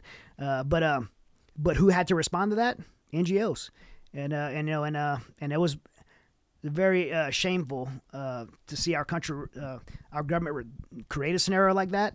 And while I was ashamed of what happened, I've never been more proud in my life to see good, patriotic Americans from the veteran community stand up and do the right thing when our government wouldn't, and uh, and, and and help you know people that, that couldn't help themselves. We're yeah, we're, we're dealing that with in Maui a little bit right now with things like you know like the permit process in Maui was already and just Hawaii is just horrendous anyway. It's been a it's been a corrupt, horrible thing for decades, right? And very uh, just rough. But now you know they issue. I think I heard the stat. It was like they issue 100 buil- building permits for like housing a year. We have 2,000 homes to build. Like yet to improve the process of the permit like they're not they, they won't improve the process they won't even invite in private companies to come talk to them uh, or the contractors who are the ones doing the work they won't they shut all the doors they won't do it they're like oh we'll we'll deal with this we'll fix it nothing's getting done and so like you can't build a house. I mean we're looking at the california fires. There are thousands of ho- homes burned down. They've rebuilt 50 of them 60 Yeah. of them like it's just such a long process. So we're looking at that like we're, okay fine the government can't help. So you know we founded a, or, uh, a nonprofit called mackay like my mackay foundation. And it's like okay our, our goal is to get these homes rebuilt. And it may have to be the ex- at the expense of building homes. I'm not saying we're going to do this. I'm not going on the record saying this but building homes without permits and then waiting for them to shut us down and then putting that on the front page of the newspaper and saying these people are homeless. There's thousands of them. Mm-hmm. Here's a bunch of homes we just built for them and we gave it to them. And you're going to kick them out on the street mm-hmm. again? Like is that where you're, that that's the plan? And it, it's it how do you how do you deal with that? I mean you do it on a daily basis how do you how, a daily basis how do you deal with that level of incompetency of the government uh, and and maintain the faith to keep going. Well, I, I speak out against it. That's kind of my, my venting, and uh, and and probably why I'm not super popular. My I face shadow banning on social get media, and on uh, social media. you know, and uh, you know, State Department hates me right now. But you know, I, I do everything I do, like decision I make. I, I try not to make emotional decisions. All this stuff is very emotional. Uh, I try to make very calculated decisions uh, on how we're going to implement our organization, and then uh, and, and make sure it's a real need that no one else can meet. We have another organization called Fourth Option. That's a rescue organization for people trapped around the world. And, and the reason we call, I'm, I'm saying that to say the name. The Fourth Option really is when when Americans are in need around the world uh, in- in dangerous situations. The first option is uh, diplomacy. Second is military action. Third is covert action, and there's no fourth option. And so one of our decision processes there, if the, if the government can't or won't, then we will. Uh, that's kind of and so anytime I do anything international, I kind of look at that like if the, government can't or won't, then we will. Then we will. Uh, and so, uh, and you look at something like Maui, you know, can they? Of course they can. Uh, you know, so why won't they? I don't know, but uh, I could tell you like the the I look at this situation and I you know I'm, I'm right down the road and I hadn't been there yet and I plan on going to see without getting in the way before I leave and we have some of our team there right now, but you look, at the inefficiencies in the spending. Uh, Ukraine, hundreds of billions of dollars went to Ukraine. I don't know if you've seen they made a they made a uh, a mathematical error like I think like two months ago, and they had overpaid the Ukrainians six billion dollars, and so they wrote it off. They said, uh, you know, Uh, hey, whoops, just whoops. let let them keep it. Let let them keep it. That's six billion dollars. Somebody did the math on it, so I can't validate. Yeah. I didn't do the math. Somebody did the math and said that six billion dollars would have rebuilt every home Yes. in, in, Maui. That Yeah, was I've heard the number out. five billion would rebuild all Yeah. of Lahaina and Yeah. every home completely. but instead they gave him 700 dollars. Yeah. Uh, Yeah, and, exactly, and, uh, so it's like it's like the inefficiencies of our tax dollars in it. And you know, you're a business guy, and, and I'm you know I'm, I'm the CEO of an organization, and the government holds me responsible to. To manage this Yep. eight million dollars a year that, that citizens entrust me with to make sure I'm doing what I'm gonna say to do with it. Uh, any CEO, their shareholders or their you know partners make sure, but there's no responsibility within our government in this spending, and it's and it's out of control. So when I underpay my taxes by a few hundred thousand dollars, I hope the government lets me write that off. too. Yeah, exactly. I mean, and it's just there's there's no accountability. It's out of control, and uh, and and honestly, you know, a lot of people that are in the finance that I talk to say that they don't even believe it's recoverable. Uh, and uh, we just you know we spend money where we shouldn't be spending money. We don't spend money where we should. And uh, you know, and our government has has become untrustworthy. And this is regardless of what political side you sit on, by the way. Like if you're conservative, liberal, it doesn't matter. But I mean, I don't think anybody has a full trust in, in our government right now. And when something like this happens in, in, in Maui, you wonder why all these conspiracies come up, and I don't believe some of them are conspiracies personally, but uh, but uh, you know, people are like, oh, these crazy conspiracies, and you know, I should paint my roof blue and whatever. why, why why are people saying that? Because they don't they for whatever Don't you know, trust. for good reasons we don't trust our government anymore. Yeah. And, Hey, uh, what's what's the quote you say sometime, Alex, about the Taleb? It's like, don't confuse something for stupidity. You know what I'm talking about? Uh, Hanlon's razor. Never attribute to malice what could be more attributable to stupidity. yeah Yeah. It's like people aren't evil; they're really just dumb. Yeah. Yeah. and there are obviously evil people, but I like that. Like when I think of the Maui situation, I'm like, it's not necessarily people are out there going, we don't want homes rebuilt. We want Maui, you know, to Yeah. suffer. No, they're just people out of their depth, like just completely out of their depth. Like Yeah. they don't know what they're doing. It's The government used to have half of the government used to run on fiscal responsibility. yeah Now nobody runs on fiscal responsibility, so there's none coming. yeah. To your point. Yeah, yeah. And, and, and some things, I will say the Afghanistan thing, they, they're pointing to incompetence, but I, I don't believe there was incompetence there. I believe those were deliberate decisions made, knowing what they knowing what the results was going to be. And uh, that's my, that's, you know, my take from, from it because there was so many, like, again, you had all the advisors saying one thing and you had one person deciding to do different, That's early or late. You mean to leave Afghanistan or to go in? to leave, to leave. Yeah. Yeah, to leave. Uh, So- go, going into, you know, I'm not a. I Yeah. look back. I look back. I believe going into Afghanistan was the right thing. I believe going into Iraq was the wrong thing. Hmm. Uh, that's my that's my my assessment. Go looking backwards. Alex, what do you think? What's your opinion?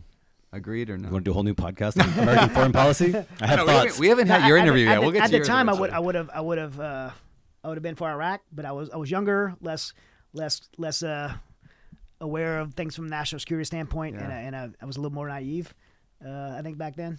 But uh, Afghanistan, I was hundred percent, and still still am today. Wait, that was a, Yeah. Yeah. What do you think, Alex? it is very hard. It is very murky. It's hard to give single answer. Yeah, yeah. But I, I would not have gone to either, and then once we went, I would have not have left either. Yeah. Yeah. That's kind of yeah, where I'm leaving Al Assad, especially, uh, it was, yeah, you're right. Yeah. Yeah. we should not have left. I mean, it was, it was the same thing. I, I wasn't as big of a news thing as Yeah. peace, but Al Assad was not much different than than uh, than the, the, the surrender of Afghanistan. So how did you go from okay, we got to get Aziz out. We got his family. He's got a bunch of kids. What six kids? Is that Six right? kids, yep. Yeah, we got to get them out. And I know the the book talks. He has a great story. I mean, it's phenomenal writing about like how that process went. But how did you go from we got to get this guy out Yeah. to seventeen thousand people that you helped get out? Like that's a yeah, big jump. Yeah. Well, you know, we were we put this team together. Luckily, I got some great friends. Uh, I found you know former special operations guys who were no longer in, but had the experience to do it. Not the guys that would still be gung gung ho to go and fight the Taliban. Like guys that had got the of their system. They're the right guys, and guys that had, you know that could help me on the campaign side too. Tim Kennedy, you know, was Yeah, yeah. great experience as a special forces guy, longtime friend of mine, has a platform because we have to raise a lot of money. Uh, him, uh, some buddies, you know, Force Recon guys and Green Berets and Navy SEALs, some guys from CIA Ground Branch paramilitary unit that I've known. known. Like bringing all those guys together, uh, we brought 12 guys and this lady named Sarah Verardo, who's amazing. Uh, and we put together this team to go get his, just as he's his wife and six kids. And then as we're putting this effort together, one of the guys said, hey, this 3,000 orphans just got left. And that changed everything for us. We're like, hey, this is great, we're gonna- but we have this experience. All of us had this burden on our heart to do the right thing. And we were already itching with, like, what should we do? How much should we help? And we were in that moment, we decided, hey, let's get as many many Americans, interpreters, their families, women and children, uh, Christians that we persecute, as many people as we can. And I believe, like, got a lot of accolades for doing this, uh, a lot of pats on the back. But the truth is, like, I'm not smart enough or capable enough to pull this off. This the only way I could attribute to the to what happened was uh, this is a miraculous uh, orchestrated event by God. Because again, I, the things that happen, a series event that happen, none of us could have pulled it off. I could try to do it a million more times and wouldn't pull it off one one one time. Uh, we said yes. I think we were obedient to that prompting God put in our heart. We called the we, it was the Mighty Oaks that started the Save Our Allies coalition. We stood up to Save Our Allies. Uh, 501c3 and, and, and uh, called it Task Force 68 from Isaiah 68, Here am I, send me. We leaned forward to do that because of that burden that God put in our hearts, and, and I believe God just orchestrated this miracle we're all part of. The first being that we got permission to go in HKIA to evacuate civilians as, as civilians. You got to remember the military was not allowing uh, the military to do that because the White House had taken away the NEO operation and gave it to the, the State Department. So they weren't allowed to do it. So for us to get permission was a miracle in itself. And she went, Sarah went to Gen- General Milley's office and asked for permission, and he got it. I, I, I still to this day don't know how it happened. We also got a, we also got our own airstrip. So all these other NGOs, and, and by the way, I'm not putting any of that. There's some great NGOs there, but we were the only ones that got permission to go on the ground. So other people were like WhatsApp and calling and stuff like that, and they were coordinating with us. But we were the only ones that got permission to actually go on the ground there. And uh, I always tell Sarah like. You- I want to see these pictures you have of General Milley like in high heels or something. Like, how do you get permission from him? to- uh, so so th- that happened, and then now we're going to move civilians without visas because these are visa applicants. Yep. Uh, SIVs, P1, P2s. We're going to move people without visas across a country border. Like that's illegal. That's human trafficking. So we need a place to bring them. The only place you can do that is in Laredo, Texas, right? But in the rest of the world, you have to have permission to bring people across the border. yeah, if you're not married, just march them across the border. Yeah. It's fine. But so we called the Yeah. we had knew how to contact the royal family of the United Arab Emirates. Uh, one of our recon Marines they grew up with uh, actually grew up with one of the princes there. Wow. And we, we I got a couple of congressmen on the phone, senators, uh, and we, we got this big phone call and I briefed it. Everybody was quiet. I'm thinking these people think I'm crazy. And then at the end of the call, they, they said yes, we're going to roll out the red carpet. You can bring them to the humanitarian center, which made it legal now. Uh, and, uh, and we're going to give you. Oh, also going to give you a C-17 plane, a large military plane. If you fill it up, we'll give you another one.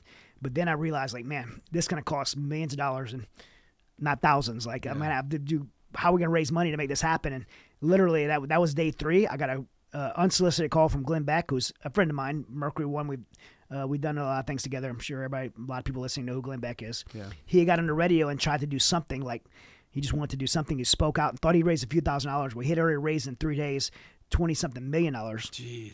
ultimately he raised like 46 million he's like i don't know what to do with it like i got all this money i want to help but what do i do with it and, uh, and i'm like i need you to start chartering planes and he put a guy named rudy atallah in charge from mercury one and they start chartering planes and so for the first 10 days there ground team our team in abu dhabi like our team in washington dc like everybody was just getting after it if you stopped for like five minutes literally like you were trading someone's life for five minutes of sleep. That that literally, like my friend Seaspray lost 37 pounds uh, in 10 days because he would not stop going out of the wire and uh, to get people like it forced hydrating him. And uh, and at that ended at 10 days, the Abbey Gate was suicide bomber hit the Abbey Gate, killed 13 of our service members, which did not need to happen. Uh, 170 Afghans were killed, hundreds of others were injured. Uh, the military was forced to weld the gate shut. We had got we had not only got Aziz's family at that time, we had got 12,000 people out. We chose to stay because the military was forced to leave, which they did not want to leave, by the way. Last thing they had to do was clean the clean the airport, including the bathrooms, to turn it over to Taliban. Which people think I'm exaggerating by that, but it, you could ask any military guy that was there. They were literally told to, to scrub the graffiti of, uh, of to anti-Taliban graffiti, which had to be a hell of a job because if you have been in a military porta potty, like everything would have fit the Taliban. Uh, uh, there's a lot of uh, you know penis pictures erased that day, and uh, but but uh, so that was the last thing on military is humiliating to do. But we didn't have to leave, and there's a couple of reasons we stayed. But one was that the White House was saying there was 100 Americans left. I was saying there was thousands. Uh, now we know from the Senate hearings that I was right. There was thousands of Americans. The White House math was saying, "Hey, we had 16,000 Americans there," which I don't think they ever knew the number anyway.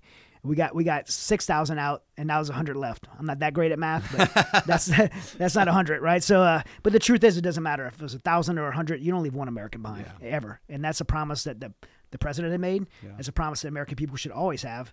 Uh, and where I come from, it was scorched earth to go get American left I rem- I remember that back when that happened, and you know we, there are pictures of people hanging out on planes and falling off planes trying to get out. Right, I remember that, and I remember the attitude of, "Hey, there's only a hundred left or a few hundred Yeah. left," and like I remember thinking at the time, like, "Wait, when did America turn into it's only a hundred left, we're Yeah. fine," instead of like no one left behind? No one. And they were like, well, people don't want to leave. Well, so the people don't want to leave thing is is is ridiculous because remember the State Department had the Neo operation, so that meant that they gave the Taliban the outer perimeter to check passports to come into the airport. And anybody knows that controls the any kind of but knows anything about ground space, whoever controls the outer perimeter controls in.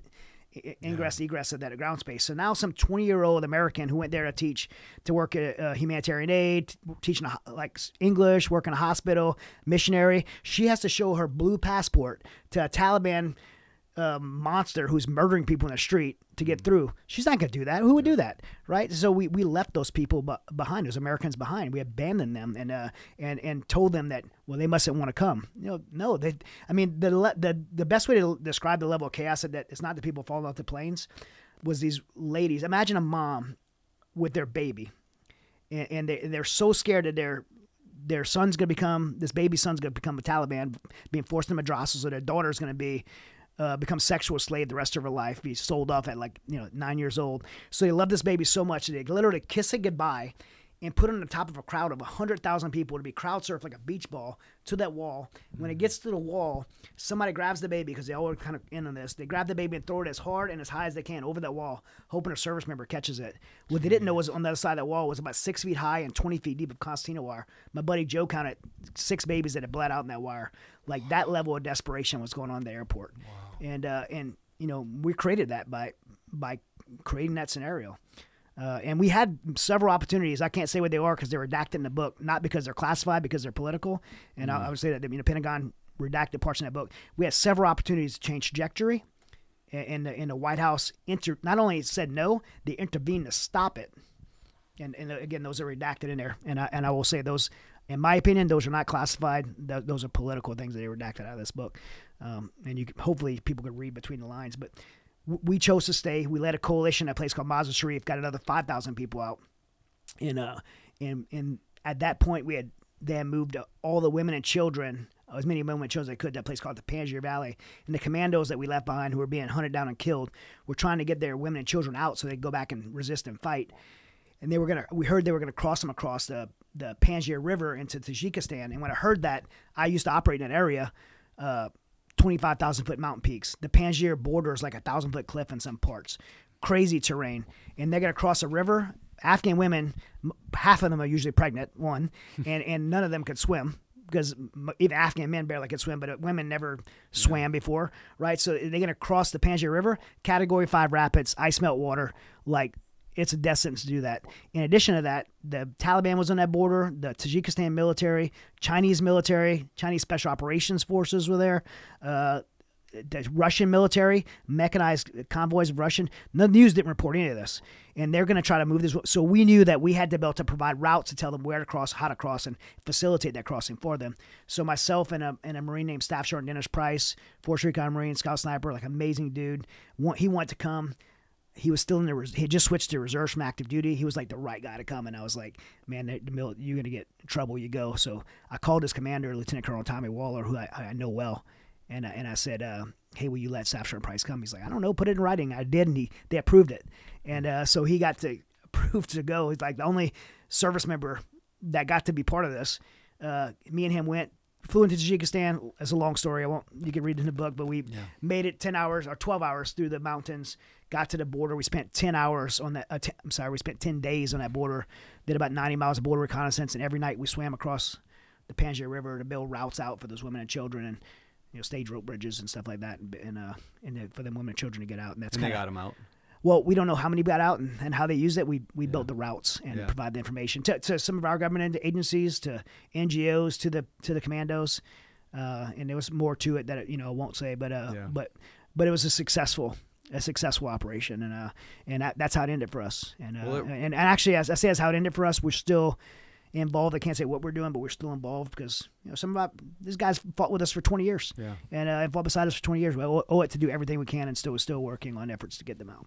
Wow, I mean the the book and the stories in there they read like a, you know a uh, you know um, Jack Carr novel. You know, I mean they read like a modern like crazy fiction story did this stuff really happen and so what what that leads to is like i know they're making a movie about this as well, right? They are. Yeah, we uh, so we had when the book came out, we had several offers.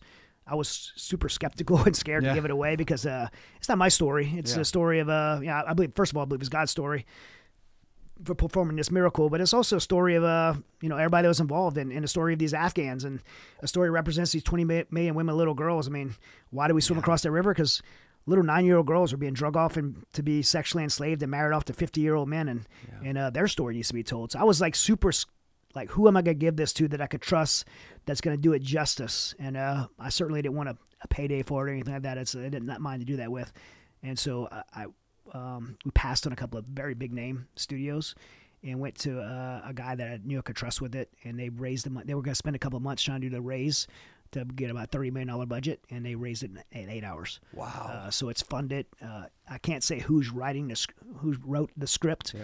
and uh, and and produced it, but it's uh, everyone probably everyone recognizes it. You know the name, yeah. I tell you, but uh, but uh, I think everyone yeah. recognizes it's a great team, I can't and wait. they had the right they had the right they, they really care about doing it right. They, they thought this was a sacred thing, and uh, they care about doing it right. I negotiated in, and they didn't push back at all to be a, a producer to oversee the military. I, have never done this before, but I yeah. want to oversee the military piece and make sure that piece is done right and authentic. And they didn't even they didn't even negotiate. They were like, "Yeah, oh, you should do yeah. it. We want you to do it." And so, wow. so I'm very very happy to be working with a uh, wow the, the team that's going to be doing it. All right, man. Uh, amazing stuff. I want to keep going, but I want to get into a little bit more about you personally and some of your story. Yeah. Uh, so maybe we rewind a few years. You know, when you left, and you talk about this in the book a little bit. I know you've got other books as well. Uh, when you left, why did you leave Afghanistan as a, as a as a soldier? Why did you leave there? I know PTSD was involved there. What was that story, and what was that like getting back? Yeah, well, when Bashir flipped on us, um, you know, things went really sideways. I, I, at that time, I think it was uh, that was towards the end of my deployments and uh, when I had been abducted by a foreign intelligence agency um, and tried to go back and continue to operate, I started having panic attacks in mm. theater. Uh, so now I'm operating this high level special operations missions with severe panic attacks. I was trying to hide it uh, and uh, was not going well. I mean, um, and so eventually I had this moment where some uh, I realized I was putting other people in danger by not dealing with this, and I, and I came home. I actually, long story how I came home. I pretty much had to uh, evacuate from the area I was in because I was in was in another country and by myself, so I had to do this kind of E and E, E and E out of this uh, country and, and get back. And I came home and was put before a clinical psychologist. I was diagnosed with severe chronic PTSD and subsequently was read out of called read out of my program, meaning I couldn't do my job anymore, and uh, that was devastating to me. First of all, the panic attacks were like unless somebody's had panic attacks before, it's really hard to describe. Like I literally believed I was dying in that moment every time. Like uh, like imagine drowning to death, and but you never die. Like you're in that state of panic twenty four seven. And the medicine they gave me, some of the medicine made me feel like I was being poisoned and killing me. Other medicine made me feel like a zombie. Uh, on top of that, I was completely ashamed, embarrassed because, you know, I'd worked my whole life to be in this job, had a lot of pride in this job, and and now I felt like I let everyone down, and so I was just embarrassed, and uh, and and then I ended up.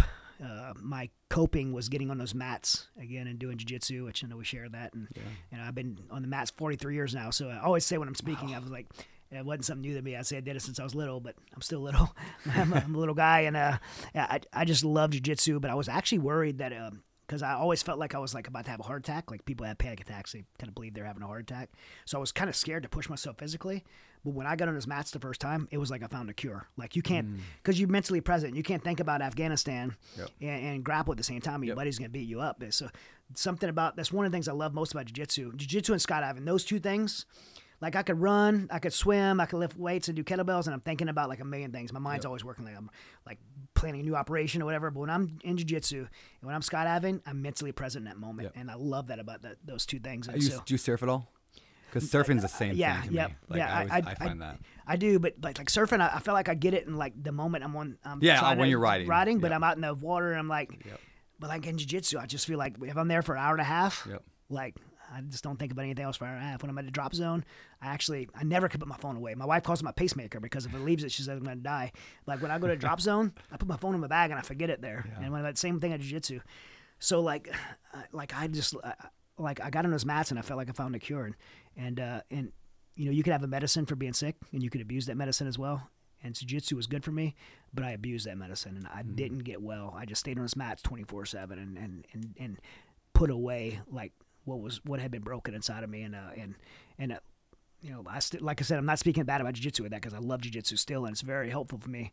We talk we talk in the military a lot these four pillars of resiliency: mind, body, spirit, social. And I think you know the, the jiu-jitsu covers you know mind, not just body, but mind, body, social. It covers those things except the spiritual piece and uh, but three of those pillars are covered just in jiu-jitsu. But but um and like I said, I love it so much that even when I have a bad working with veterans is extreme. Running nonprofits is extremely stressful. When I have a bad day, I go to the gym and I find like some twenty year old stud. I choke him out. It makes me makes me feel better. Like It's the best feeling, yeah, right? Yeah. Yeah. So I, I love it, but I took that thing and I abused it and it never got well. And I spent about mm. three years what looked like on a surface like an upward trajectory because I was like. I won a world title. I won. I was an inaugural champion for Legacy FC. I, uh, I, I, fought, you know, I fought for the main event of Bellator, Strike Force, World Series of Fighting. Like, I ended up being 18 and two as a professional with 17 submissions. So that's for a jiu-jitsu guy, it can't get any better than that. And uh, was ranked number six in the world as a flyweight, and I think number 23 or something like that as a bantamweight. So I was. It looked on the surface, it was great. I had thousand students in my jiu-jitsu school that I only had for like three years, but my personal life was like crashing. Yeah, I was gonna ask, what did it do to your marriage? Yeah, I mean, time? my marriage fell apart. I, I ended up, uh, I ended up just into just complete, se- completely like in the same home, separated from my wife. Uh, just a totally tyrant to my family. Uh, I mean, I just you know, throw temper tantrums like a 15 year old boy, like slam doors, Mm. punch holes in the wall, break things, scream at my wife and kids. Like I was just told I had no control of my emotions and I had no empathy. I think that had turned off like years ago in Afghanistan. So I'd see my wife crying. I'm like, the heck's wrong with me? I don't even feel bad that my wife's crying. I just like broke her heart and I don't even feel bad about it. Like something's wrong with me. Like I, so I was just in this really dark place and separated myself from my family emotionally at the time. I remember like I think this was during the deployments. I remember coming home from Afghanistan and probably when I first had the biggest wake up call that I was like that emotionally detached was my daughter had a birthday party and, and uh she she had a she's very opinionated she as a kid and even more so now but she didn't like the icing on her cake like something super simple. And I picked up my little girl's birthday cake and threw it against the wall and destroyed my little girl's birthday. And I remember thinking like what kind of dad like what kind of person behaves that way? What kind of dad behaves that way? But I was like that out of control. And instead of like admitting I was wrong I would just double down like yeah that was out of control but you guys are all idiots. Like like I was justify everything. And so I just distanced myself instead of getting better. And and eventually like uh like I said after a three year downward spiral I found myself uh, in an affair. We sold our home. My wife filed for divorce. We uh, got two separate leases on 12 month leases on apartments. My wife and I had two different reactions. My wife went to this church uh, and really got around some good solid people and she would say that she would go in there not just on Sundays but like during the week and she'd pray for me like you know, with while I'm doing that to her, what she'd be praying, and she'd pray like, "God, let me see Chad the way you see Chad, and let me love Chad the way you love Chad. Let me forgive Chad the way you forgave Chad." That's what she was doing for me. And meanwhile, I'm like complete degenerate. I'm like, bachelor pad. I don't have to worry about this woman anymore. She never understood me anyway. You know what I was going through, and and uh, I took a big fight on Strike Force on Showtime, and I was like totally focused on that. We are separated for like three months, and you know, uh, training girls like.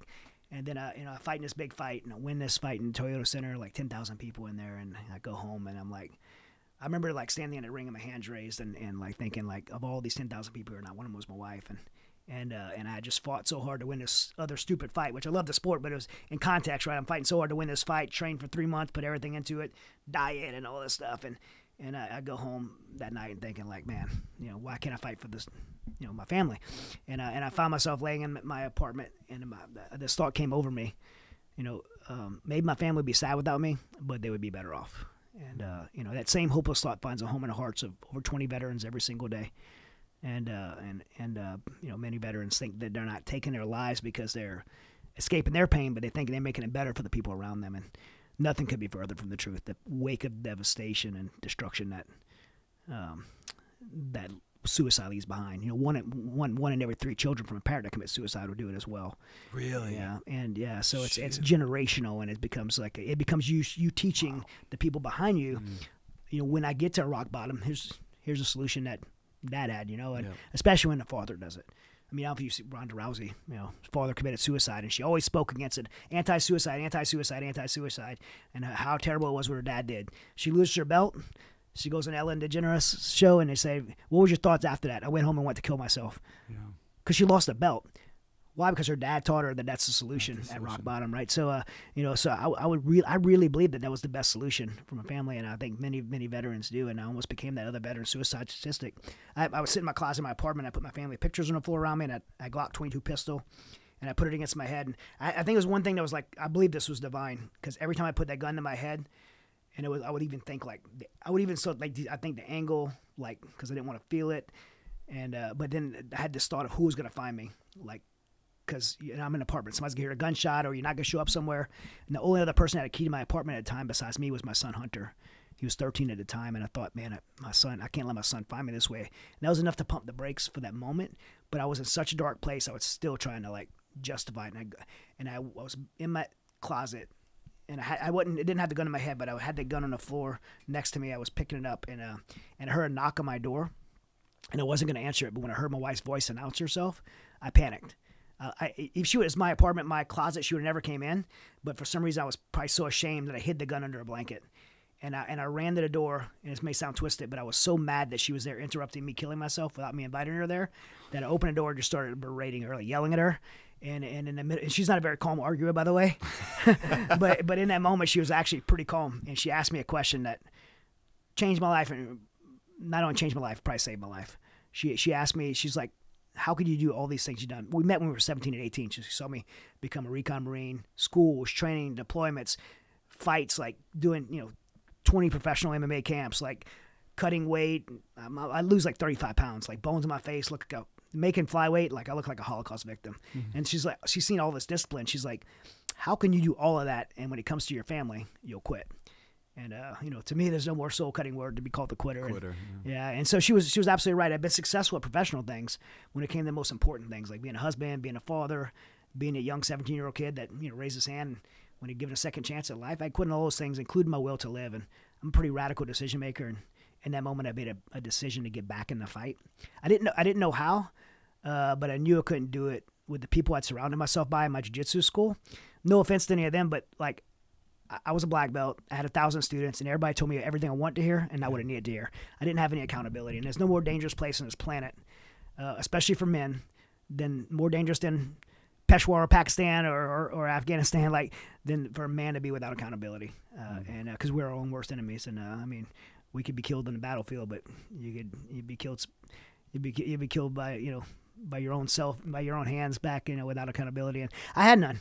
And so I, I asked my wife at this this church you're going to, is there some man that could hold me accountable to this decision? I want somebody outside of my circle. I didn't care about her church. In fact, I was probably uh, very skeptical of any religion or, or anything like that. I just want somebody outside of my of my circle. And so she introduced this man that was on call, elder on call at the church. His name was Steve Toth.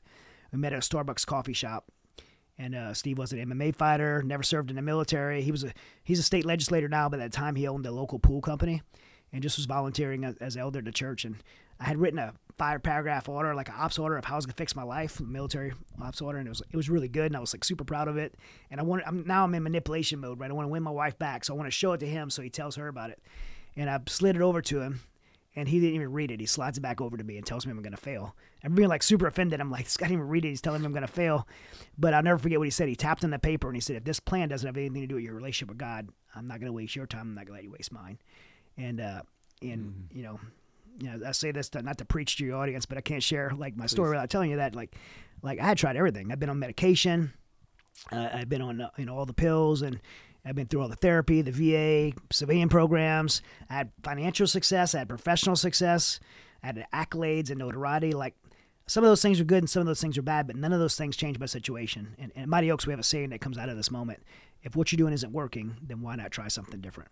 Right? If what you're doing isn't working, you know, try something different. And so I, I was kind of that's where I was. I was like, what do I have to lose? Uh, and so I made a decision to follow Steve's lead. He led me in a relationship with Christ. I surrendered my life to Christ.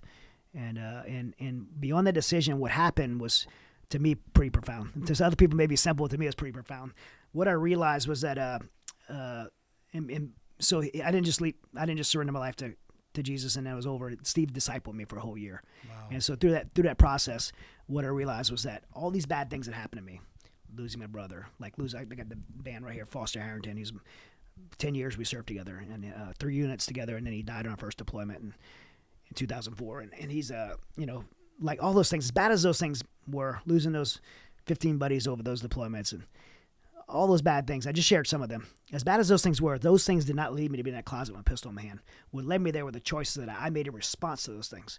And, and through this discipleship, what I was learning was, yeah, I still got angry, I still got frustrated, I still felt anxiety. But Steve's teaching me that the Bible had a, had a, a different uh, answer to make different decisions based on the things I was dealing with. So when I faced anxiety, I was able to have a biblical decision that led me to a different result when I got angry, I was able to have a bib- like a, a, biblical lesson that led me to a different result. And I started becoming very intentional about applying these biblical principles in my life, and my life was radically changed, and it led me to restoration. In my in my anxiety and depression, my family. I've been married for 28 years now. Wow. Uh, three adult children that are all married. Two, uh, three granddaughters. Uh, two went to Bible college. Two served in the Marines. Two work in ministry now. Uh, I have a. We just adopted our brand new baby girl, Summer. Like uh, where so the restoration of our family. I found hope again, and ultimately I found what we all really need, and what I've searched my whole life for, and that's, that's purpose. And the purpose really manifested for me in a deep burden that God put on my heart to pay it forward with others. Like I didn't just want to; it was like I was dying of cancer, and Steve gave me the cure. Like I wanted to share it. I felt obligated to share mm. it, and that manifested in the founding of Mighty Oaks Foundation. And over the last 12 years, like you said, we've served over half a million warriors through our resiliency program. I've given away 300 copies, thousand copies, 300,000 copies of my books to the troops, and I speak all over, uh, based all over the world, and uh, we have a podcast, a Stay Dangerous podcast now, part of the ministry to reach out. We have a recovery programs, five ranches around the country that we do, you know, these eight million dollars of programs too. And I'm in D.C. like advocating for faith-based veterans care. And President Trump had appointed me to be a chairman of the White House Faith-Based Coalition, and then we have our international program. We go to places. Uh, we have a team right now in Peru, serving the Peruvian military, teaching them how to do what we do.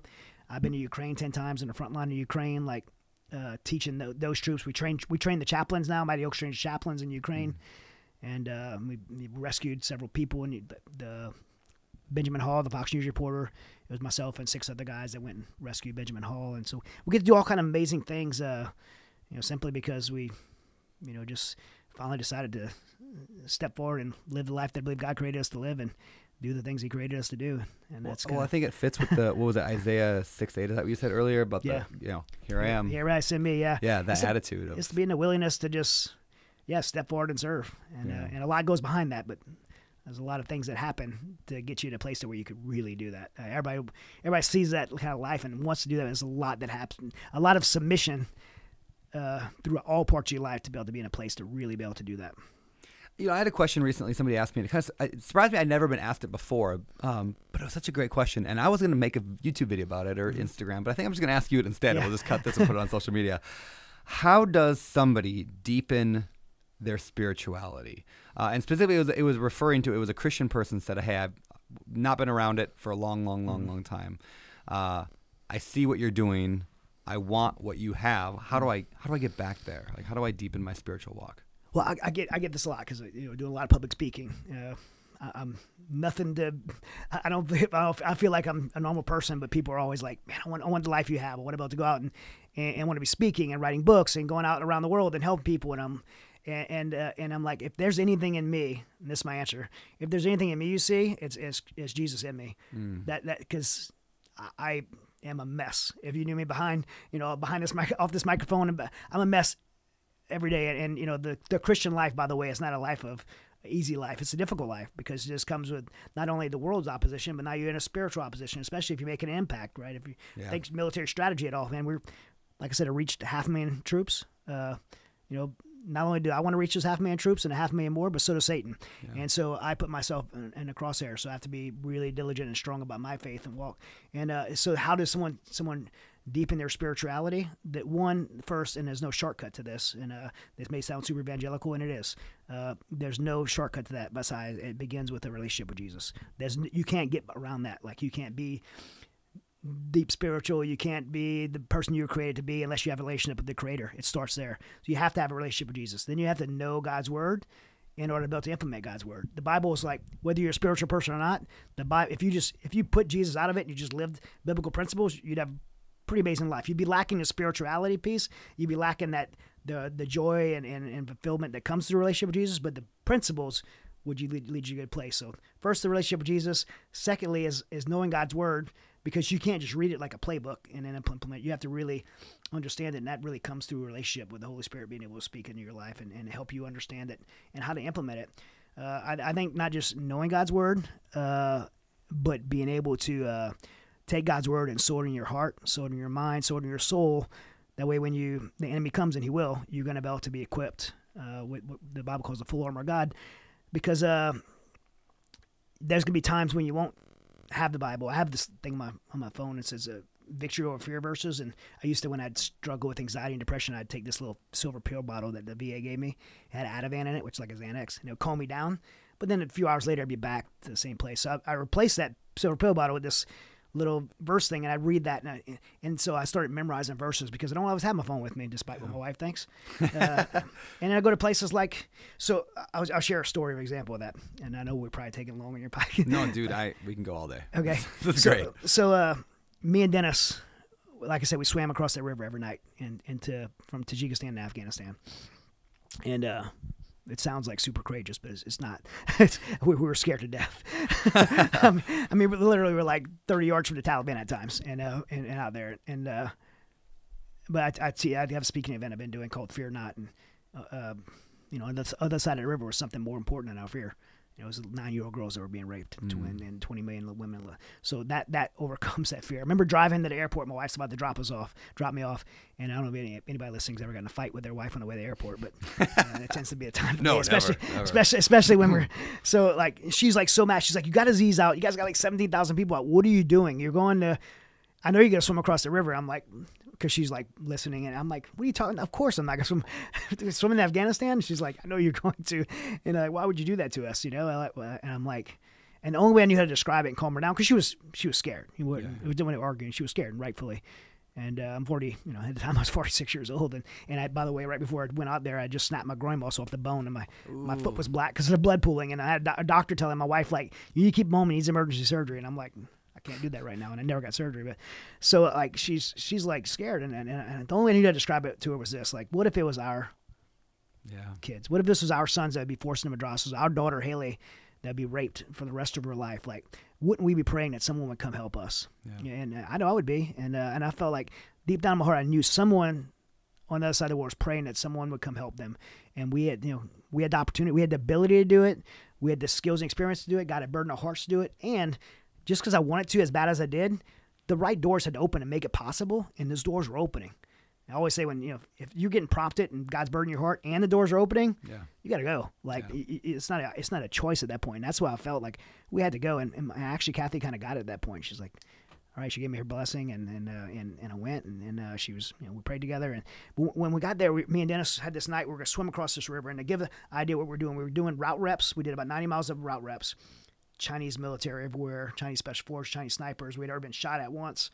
uh, and we were going to cross this one spot that was the perfect crossing. When you're doing these fording reps, you want to know how cold is the water, what's the, what's the speed of the water, uh, what's the gradient going in, what's the soil going in, where there was places for covering concealment on both sides to hide people, or there points to anchor rope bridges because that's where we're leaving rope bridges on the other side with the equipment because we knew the commandos are trained in that. You got to assess like what they have the ability, how they're going to cross.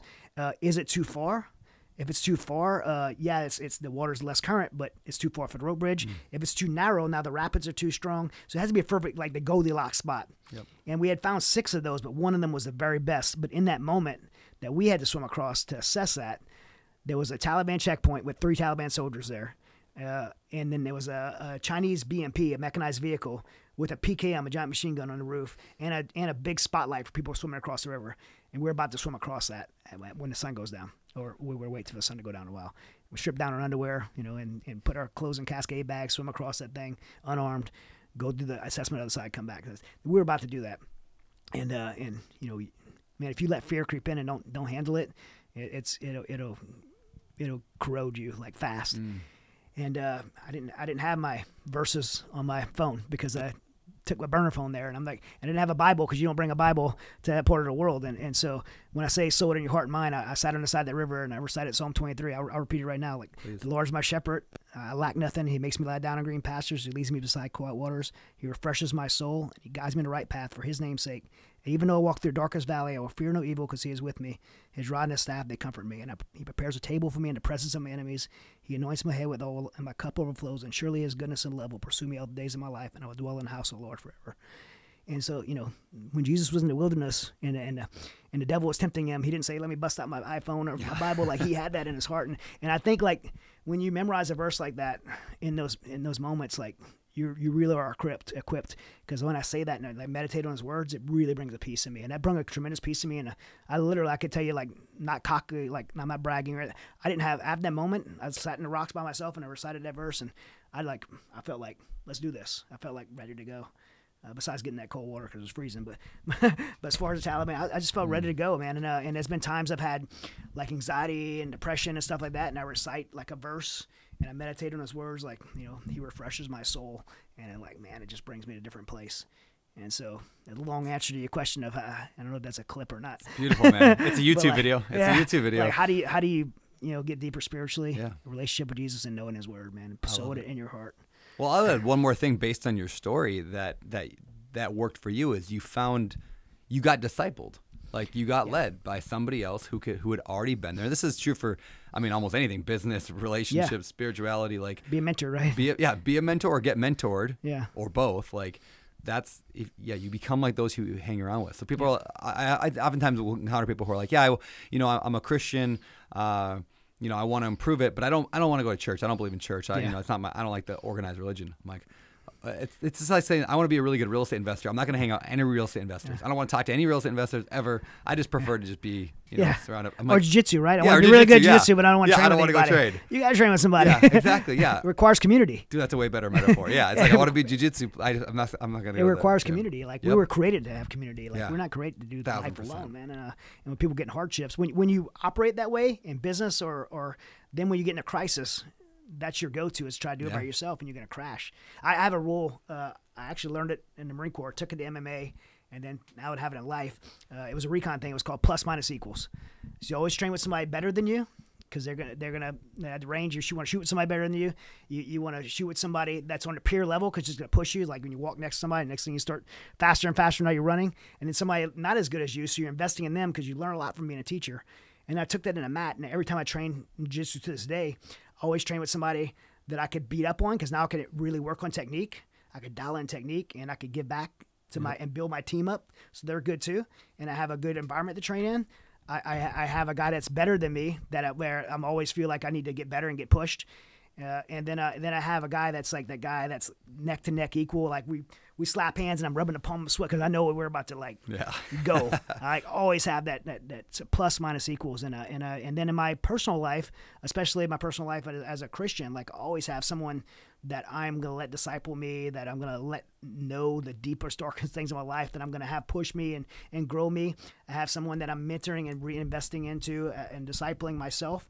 And then have someone that's not going to peer level with me that I'm going to go, you know, every day and have lunch with or a cup of coffee once a week with or something like that. And I think it's super important Yeah. to have. That's beautiful, man. I love that answer. Now I don't have to make the video because you just did it way better than I could have. All right, man. Well, uh, we got to shift towards the end here in a little bit, but first I do have a question. You, you your wife, Kathy, Yeah? Kathy? Yeah. What do you love about your wife? Man, uh, I think what I love most about her is that uh, she's like what they call, what they call the ride or die. like like she's been just been through all this stuff, and if I if I go back from this podcast and say, man, Brandon and I had just a podcast, but it gave me an epiphany, and I think I'm gonna start robbing banks tomorrow. She's like, what do you want for lunch? like she's she's kind of like, and also she's uh one thing. So you know she's been around like 17 to 8 so i was going through recon training so she's been around it from the beginning she's been around all special operations guys her whole life but even through all that she really doesn't know the difference of anything she i could be like a cook in in the in the air force and it just doesn't make a difference to her she just doesn't care it's just not important to her so like i think that's always been a really good thing like because she's never carried the burden of that. Like when I'm out of Afghanistan, she's just like, "Oh, he's at work," you know. Like I like he's out by himself with Aziz in the in the, you know uh, in in Peshawar, Pakistan. like she's not like biting her fingernails. She's like, "Oh, he'll be back. He's you know he's coming back in in three months." You know, like not a big deal to her. So All right, and then I, I got to ask this question as somebody who's raised a bunch of kids. How many kids total do you have? four. Four kids. As somebody and three granddaughters now. Oh, wow. okay. So somebody's what advice do you have for me as a not a new father? I've been at this for seven years now, but as a father pre a preteen father, I'm not yet that phase. Yeah, love is spelled T I M E. That's the best, uh, uh, you, and you can't get it back. I'm in my second round right now, so so I have a I have a 27 year old, 26. I have a 26 year old, a 25 year old, 23 year old. They're all married with kids. I got some grandkids, and I have an eight month old that Kathy and I just adopted a family member, and so we, we are adopting her. She's our daughter, and uh, and so right now I'm experiencing. I was gone a lot of the times when my kids were growing up, and you know when I was there, I tried to make the best quality time I could. I, you know, hunting, fishing, shooting, hiking. I was a jiu-jitsu coach. I was a wrestling coach since they were like three years old. Like, but there was still a lot of time and things I put before them. I mean, I put jiu-jitsu before them a lot. I put uh, I put you know uh, going out going to Afghanistan. Sometimes I, it was a military school that I probably didn't have to go to, but I wanted to, and I, and I, and they they came second. And I, it stings me to say that, but it's just true. And uh, my career always came first, and I justified it. Was like because you know you could justify anything, uh, but the truth is that I look back and there was some things I could have done differently to spend more time with them, and I have a very close relationship with them now. Uh, but now, like summer, this I've had, we've had her for you know going on five months now. Uh, I, I'm making decisions now based on her being a more priority than I would have with my, my other kids, and it just feels different. There's, and it's only based not that I love her anymore. I, I feel like I do. Like I feel like a special kind of love with her. Probably a lot of it has to do with my age and maturity. But it's not, it's not that I love her anymore than my other kids. I just have the wisdom of, of seeing both Yeah. ends of it now, and I, and I, and I'm, and I'm gonna take advantage of that. So if I could pass that wisdom to you know younger parents out there, like man, I heard that saying before. Love is spelled T I M E. That's how kids understand it. You Yeah. know, gotta spend that time with them. Yeah. Beautiful, man. All right, let's move on toward the end. Next seg- segment is called the three, two, one pivot. Okay. So three pivot. So when I talk about a pivot, you know, I think of your life is going one direction, and then something changes it. Maybe it pivots, you know, one Maybe you alter ninety percent or 180. Mm-hmm. Right, right. Um, degrees. But uh, three pivot books, two pivot people, and one pivot quote. So we'll start with the books. What are three books that have uh, changed the direction of your life? Uh, w- a book called Wild at Heart Oh, by John dude. Eldredge. Dude, I'm reading that right now. Yeah. Yes, I love Yeah. that. Yeah. yeah. Dude, yeah, Wild at Heart. Yeah. My my son's name is Wilder, based on Wild Yeah. at Heart. Yeah, Yeah. Uh, I love that book. um, oh man, I, um, it, the, I can't believe it slipped my mind right now because yeah, I read it earlier. It's uh, it's it's one of my books I recommend to everyone. It's uh, it's the business book. can't believe it slipped my mind right now. You can come back to it if you want. Yeah, yeah, yeah. What's the what's the super? The Rich Dad Poor Dad. No, it's That's uh, a common one. yeah, it's. That slipped my mind. That's all right. You'll remember it. yeah, yeah. All right. but uh um there's a there's a two books that I think are really important timely right now one is called uh, uh letters to the american church Okay. by uh, eric metaxas Okay. and it's a very timely book right now i just read it and uh, and uh, and it's it's really about it's it's, it's contrasting bonhoeffer in the church uh, in the church of uh, of, of Germany during uh, the rise of neo-Nazism. And the church's silence, and, and that silence became complicity, and uh, and it's very much a contrast to where we are in America right now. And I think it's a very timely book, and it's it's it, it basically took he took his he wrote a book called Bonhoeffer that's like this thick, and uh, and I read it, and it's it's really it's incredible. But most people aren't gonna read a book like you know Yeah. five inches thick. So it's basically the the cliff notes of, of, of Bonhoeffer into the book that that's pointed directly to the American church and where we're in America right now. And uh, I think it's one of the most powerful books that every American could read right now. Uh, and another book that, that he wrote, not to plug same same author for two books, but uh, but um, eh, since I can't remember the other one, uh, Good to Great. Oh yeah, Yeah, good, to great. Good yeah, to Great. Yeah, that was, the, Jim- that was so now now Jim get Collins, so right? I- Yeah. yeah. that was a great one. But um, but I will I will tell you his other one, uh, uh, Atheism is Dead.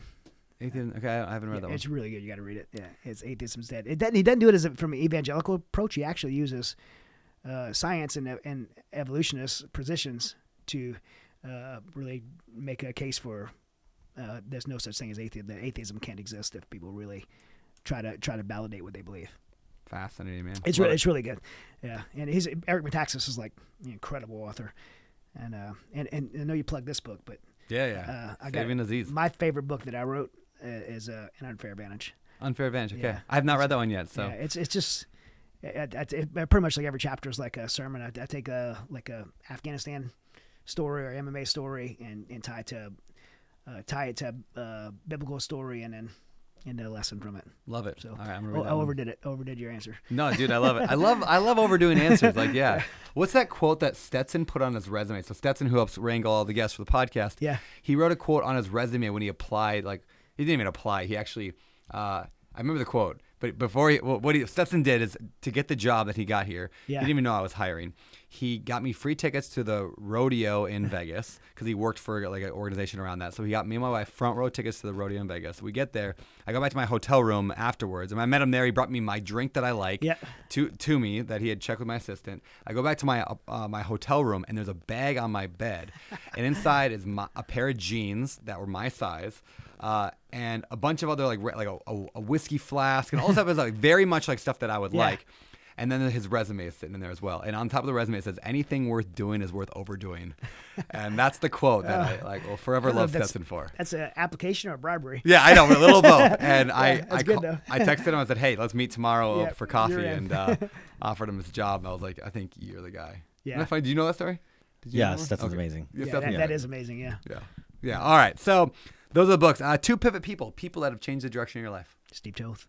Uh, Steve Steve Toth. Uh, Hmm. That was the mentor, the disciple. mentor, yeah. yeah, the discipleship. And, uh, and maybe this is fresh. All my kids have changed my life, Hmm. but I I don't think any more than this brand new baby girl summer. yeah. Uh, man, just something's happened in, in, in me the last you know months of having her um, that I didn't expect. I, I was naive enough to think like, hey, this is a family member. They're in need. God's really given us a home and, and, and the means, and we're in a good place in our life. We have the ability to do this. I've been an empty nester for five years, kind of overrated. uh, you know, could use a little chaos and love in our home. So let, let, let's let's do it. Let's. It was it was the no brainer. Like we were do it. So I was naive enough to think we're blessing her. It totally the other way around. Like this has been like the biggest blessing. I wake up in the morning and she's like laying next to me. She didn't cry when she wakes up. She just like lays and stares at me, smiling and playing with my beard. And I, I'm like, I'm the luckiest person in the world. Like, and it's totally changed my like decisive process for like everything. Yeah. Like everything, everything in the last few months that I'm making decisions on. Like I had been needing to dial back my schedule and my bandwidth for like years. Like my chief of staff, my I have hundred people on staff at Mighty Oaks, and they're all like, like you can't do this forever. You're gonna you're going to break. And they're pushing me, and I'm like, yeah, but it's too important. I got to. And uh, and and all it took was to bring this little angel Yep. into my life, and I'm like, yeah, let's change my schedule, like dial it back, and and Yeah. it just changed. So I think I think she's like really just, uh, and, it- came at timely. So it's a, it's been a gift for me. It's beautiful, Uh, yeah, I, with and, and you know go back to Steve Toth. I would Yeah. I wouldn't be here today if it wasn't for Steve. Amazing. Yeah. All right. One pivot quote. What what quote has changed your life? uh, Shale Richardson. Um, uh, courage is not the absence of fear, but the the decision that something's more important than that fear. And, and I don't I don't mean I don't mean that to say like it's not it's not a motivation for courage. Yeah. It's actually the opposite. It's like it's like the people confuse like when people do brave things for courage and it's, it's saying that that's not actually courage. Like that's like we have to recognize that some things are more important than fear. Or, um, you know, this. Can I tell you a little, another little Please, story? man, I'm, please. I'm gonna overdo it again. I love it. We, we were we were just in Ukraine. Sea Spray is the guy that said lost like 37 pounds. At Yeah. He, he and I were in Ukraine. We were we were like two hours past the, the Russian line in the red zone. We went to identify these mass grave sites. When we identified 1,400 like little girls and women that had been executed. Jeez. And we are coming back. That's happening in Ukraine? Yeah, yeah, that's it. Dude. Yeah, and by, by the book I have coming out with that catalog, all that stuff. Yeah. Like wow. it's, it's, it, we didn't, the reason we went and did that because the people that asked us could do it, people in our in our government that Ukraine was reporting it, and they were like, of course they're going to report stuff like that. They get more money, right? So they wanted us to actually go, and we did. And, we were, and so I leaked it to Fox News. I called Doc Fox News. I'm a reporter, and the reporters give me a hard time. Like a lot of people give me a hard time. Like, why are you in Ukraine? I think you and I were talking about this earlier. Like Zelensky's corrupt. We're sending hundreds of billion dollars, which by the way I don't think we should be sending. I think it's a money laundering machine. And uh, and I'm like, yeah, Zelensky is corrupt, but so is so is Biden, and so is uh, everybody, every other politician since the beginning of time. Like, who's surprised that politicians are corrupt, right? I'm not there for Zelensky or Biden. I'm there to help these people, People, right? And uh, and if you ever, you know, kind of side note, if you ever get let your politics get in the way of your compassion for people, you should probably change your politics. Like, uh, you know, uh, we have to be able to help people if you're in a position to. But we were getting, uh, so the reporter was giving me kind of hard time. She's like, "Why are you guys even there?" And I'm like, "It's the right thing to do." I just said a simple answer. I was tired, aggravated. It's the right thing to do. And then, uh, and then she asked Sea Spray, "Is it worth it?"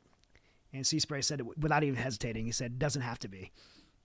And uh, you know, I think right now, especially as Americans, we think like with everything under the ROI, like our return on investment. Like I'll give my time, my energy, my resources, uh, but is it worth it? Is it dangerous? What's the risks? We assess everything, and, and you know, as Sea Spray said, like it doesn't always have to be worth it to do the right thing. And sometimes things are scary, and and you- and uh, you know, but is is uh is what we're called to do and burdened to do more important than that fear, that risk, that ROI? And I think the world needs the whole world. We all need to be like ask ourselves that question right now. So, Thousand percent, man. All right. This segment is called Past, Present, Future. What advice do you have for your younger self? We'll start with that one. I, I think if I went back to my younger self, I actually thought about this before. Like, like uh, I would tell myself, you know, it's it's not about me. Um, I think when we're younger, it's all it's all about us. Like we, we think the whole world revolves around us, like the whole universe revolves around us, and uh, and so we get self focused on achievements, and it's unfulfilling. I, sp- I see it a lot with the special operations community. Like there's this there's this strive to achieve, and nothing's ever good enough. Like I want to go to this next school and get this next title and get this next accolade, make this next, and then you transition to business world, and I want to make this next amount of money, and I want to get you know get to this status, and it never it's a never ending like desire that you're never gonna fulfill. One I was getting interviewed one time. This guy read my whole bio, and at the end of him reading my whole bio, it's kind of early on in Mighty Oaks. I literally felt like I wanted to crawl on a table because I was embarrassed. And the guy's like, "Man, this amazing bio. How does it make you feel?" I'm like, "Actually, it makes me feel embarrassed. I feel like it, you just described the most incontent person that ever." like, and as it was. Like I'm just never deciding contentment, and uh, and so you're pursuing all this stuff because you think it's about you, but there was a transition in my life to where I stopped living for myself and started living for others, and actually that's when I found the fulfillment. So like the living like for others and realize it's not about you. Every decision I make uh, has to be like for others. Like I actually found the fulfillment that I was always seeking before. I have a process right now. Like I get offered a lot of opportunities like uh, right now because of you know, Mighty Oaks is successful and I've, I've built you know a pretty decent platform. And so people were asking me things. I'm always my decision making process is. Uh, does Mighty Oaks benefit? Because that's my primary. I feel my primary burden, my heart, my responsibility. And, and is this uh, is this decision going to benefit others, or does or or does it benefit me solely? If it benefits me and doesn't fit those other two, then I say no. Even though it's as lucrative as it may be for me, and I've had some really lucrative opportunities I've said no to, and I'm not saying that braggadociously. It's just that's my criteria because I know I won't find satisfaction. It would lead me down a place to Yep. being dissatisfied if I pursue that other path. Dude, I love I love that framework. I really really like that. Uh, I'm gonna encourage everyone to hit that little rewind button, 30 seconds or a minute, and just listen to that again. It's so good. All right, next one. What is something that I think I I, I, know one of the answers you'd give for this one because you have a new little uh, child in your life. But what is something that you've done in the past year that has given you a better life? Uh, I, I think getting getting a hold of uh like my my schedule, but it goes deeper than that.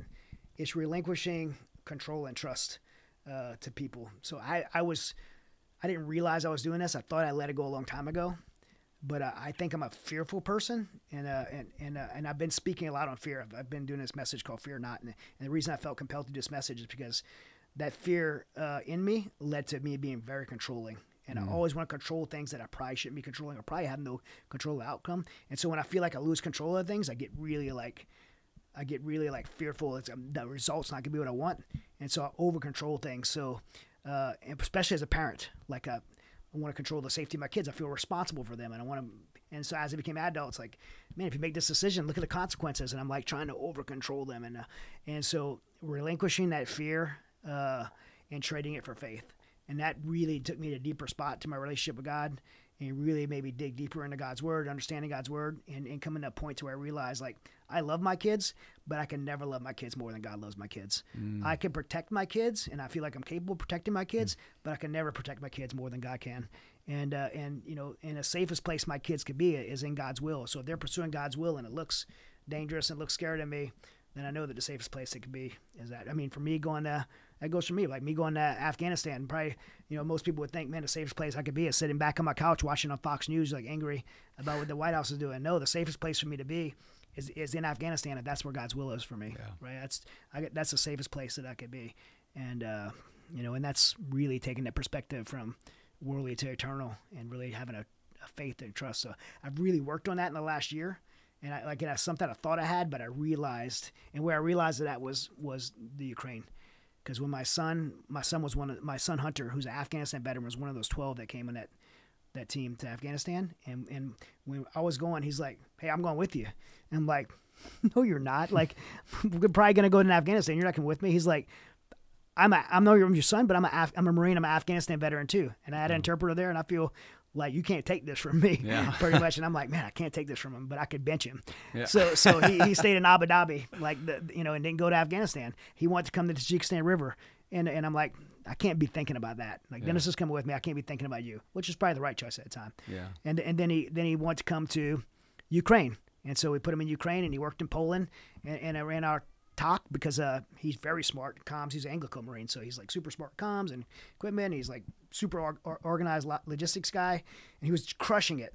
And we went across the border that night. We were in that house when Benjamin Hall got hit and Pierre got killed, and and they and we got asked to go across the border and rescue Benjamin Hall and recover the body of Pierre. And nine of us were in that house, and everybody was like, you know, some sea spray saying like, "There's an American over there. He's got a wife and two daughters, and if we don't go get him, the U.S. government can't, the military can't, the agency can't. He's going to die. Like we're this we're his only option there. And all nine of those people in that room last night raised their hand and was ready to go, including Hunter. And then Hunter stayed back. Stayed back. Not my choice, actually. Sea Spray kept him in a TOC. Him and a guy named Sean, and then another guy from the government agency stayed in a TOC. And, and he was he was bummed. But fast forward, uh, now just last month, he's uh he, he led the trip with several special op- tier one special operations guys. Led the trip to Ukraine and uh, to train 35 chaplains, and he's been past the front lines and he's leading. So the transition of this last year was me relinquishing my fear as a father in this young man, not just my son, who's very equipped and trained, and God's burdened his heart to do these missions and, and help these people, and uh, and me holding him back from what God's calling him to do because of my own fear. So I was forced to relinquish that, to have faith in my son, and faith in God to to protect him in a way that I can't. And that's what that's actually what the Ukraine book's about. It's not about Ukraine. Yeah. The Ukraine's the backdrop. It's about that that process between me and my son. I'm excited to read that one. Yeah. I'm very excited. All right. What do you want? I mean, the question is, what do you want your legacy to be? But I want to define it more specifically, and that is someday when you pass away Mm-hmm. and people talk about you, what do you want that, that line to be? Oh, yeah, he was blank. Yeah, um, I forget his name. The guy who founded uh, uh Salvation Army, Yeah. uh, O- Owell or something like that. Yeah. I forget his name too. Yeah. But it, it- in his tombstone, it said one thing: uh, others. And I, I think that's for me. Like, there's a lot of a lot of titles that I've got given got given amongst the years of my life, but the, probably the most uh, the one that I'm most proud of is, is dad. uh, but if I was remembered for one word, it'd be like someone that you know always went out of the way to serve serve others.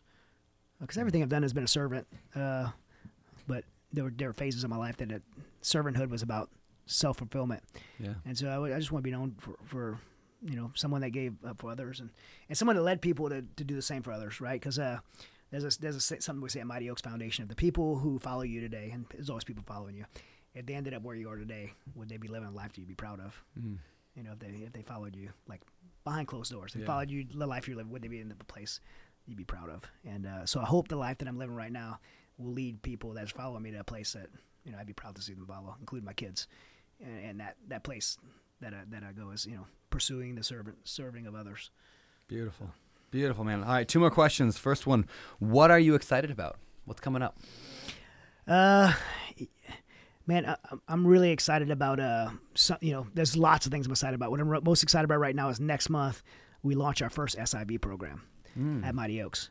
So we uh we have a program coming at Mighty Oaks to where we uh these SIVs that did make it here, the, the interpreters that fought alongside of us 20 years, like I did eight deployments to Afghanistan. Some of these guys didn't do deployments; they did like 15 years straight of fighting, and, and and then they they leave with a backpack, left everything behind. Their, their all their and and many of their family members, people were killed in their families. Some of them's wife and kids are still in Afghanistan.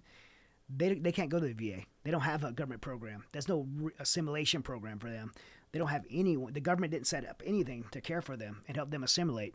You think they not they don't have PTSD or dealing with things? There's nothing for them. So we recognized this need and said, hey, uh, these people may be Muslims and we're a Christian organization, but we're going to show them the love of God and we got we got to we're going to stand up a program for them and, and we'll be open about who we are. Uh, we're not going to make it like a proselytizing evangelical program, but we're going to teach them the biblical principles that we use to move forward our troops forward with, and they know they're coming into. And uh, and so Aziz has been going out because Aziz is a Christian uh, now, and he's uh, he's been going out speaking around the country to them, letting them know about the program. And so next month we have our first SIV program in California at Skyroach Ranch, and we have 24 of them that are scheduled to come to this program. And it'll be the first one of its kind. No one else is is doing. I, I don't say that competitively because I hope other people do it too. I hope we challenge other people to do it. But uh, I mean, when these people, when these guys come here, it's it's really telling that uh, it's been really telling to see that the mosque have not welcomed them and helped them. It's really weird.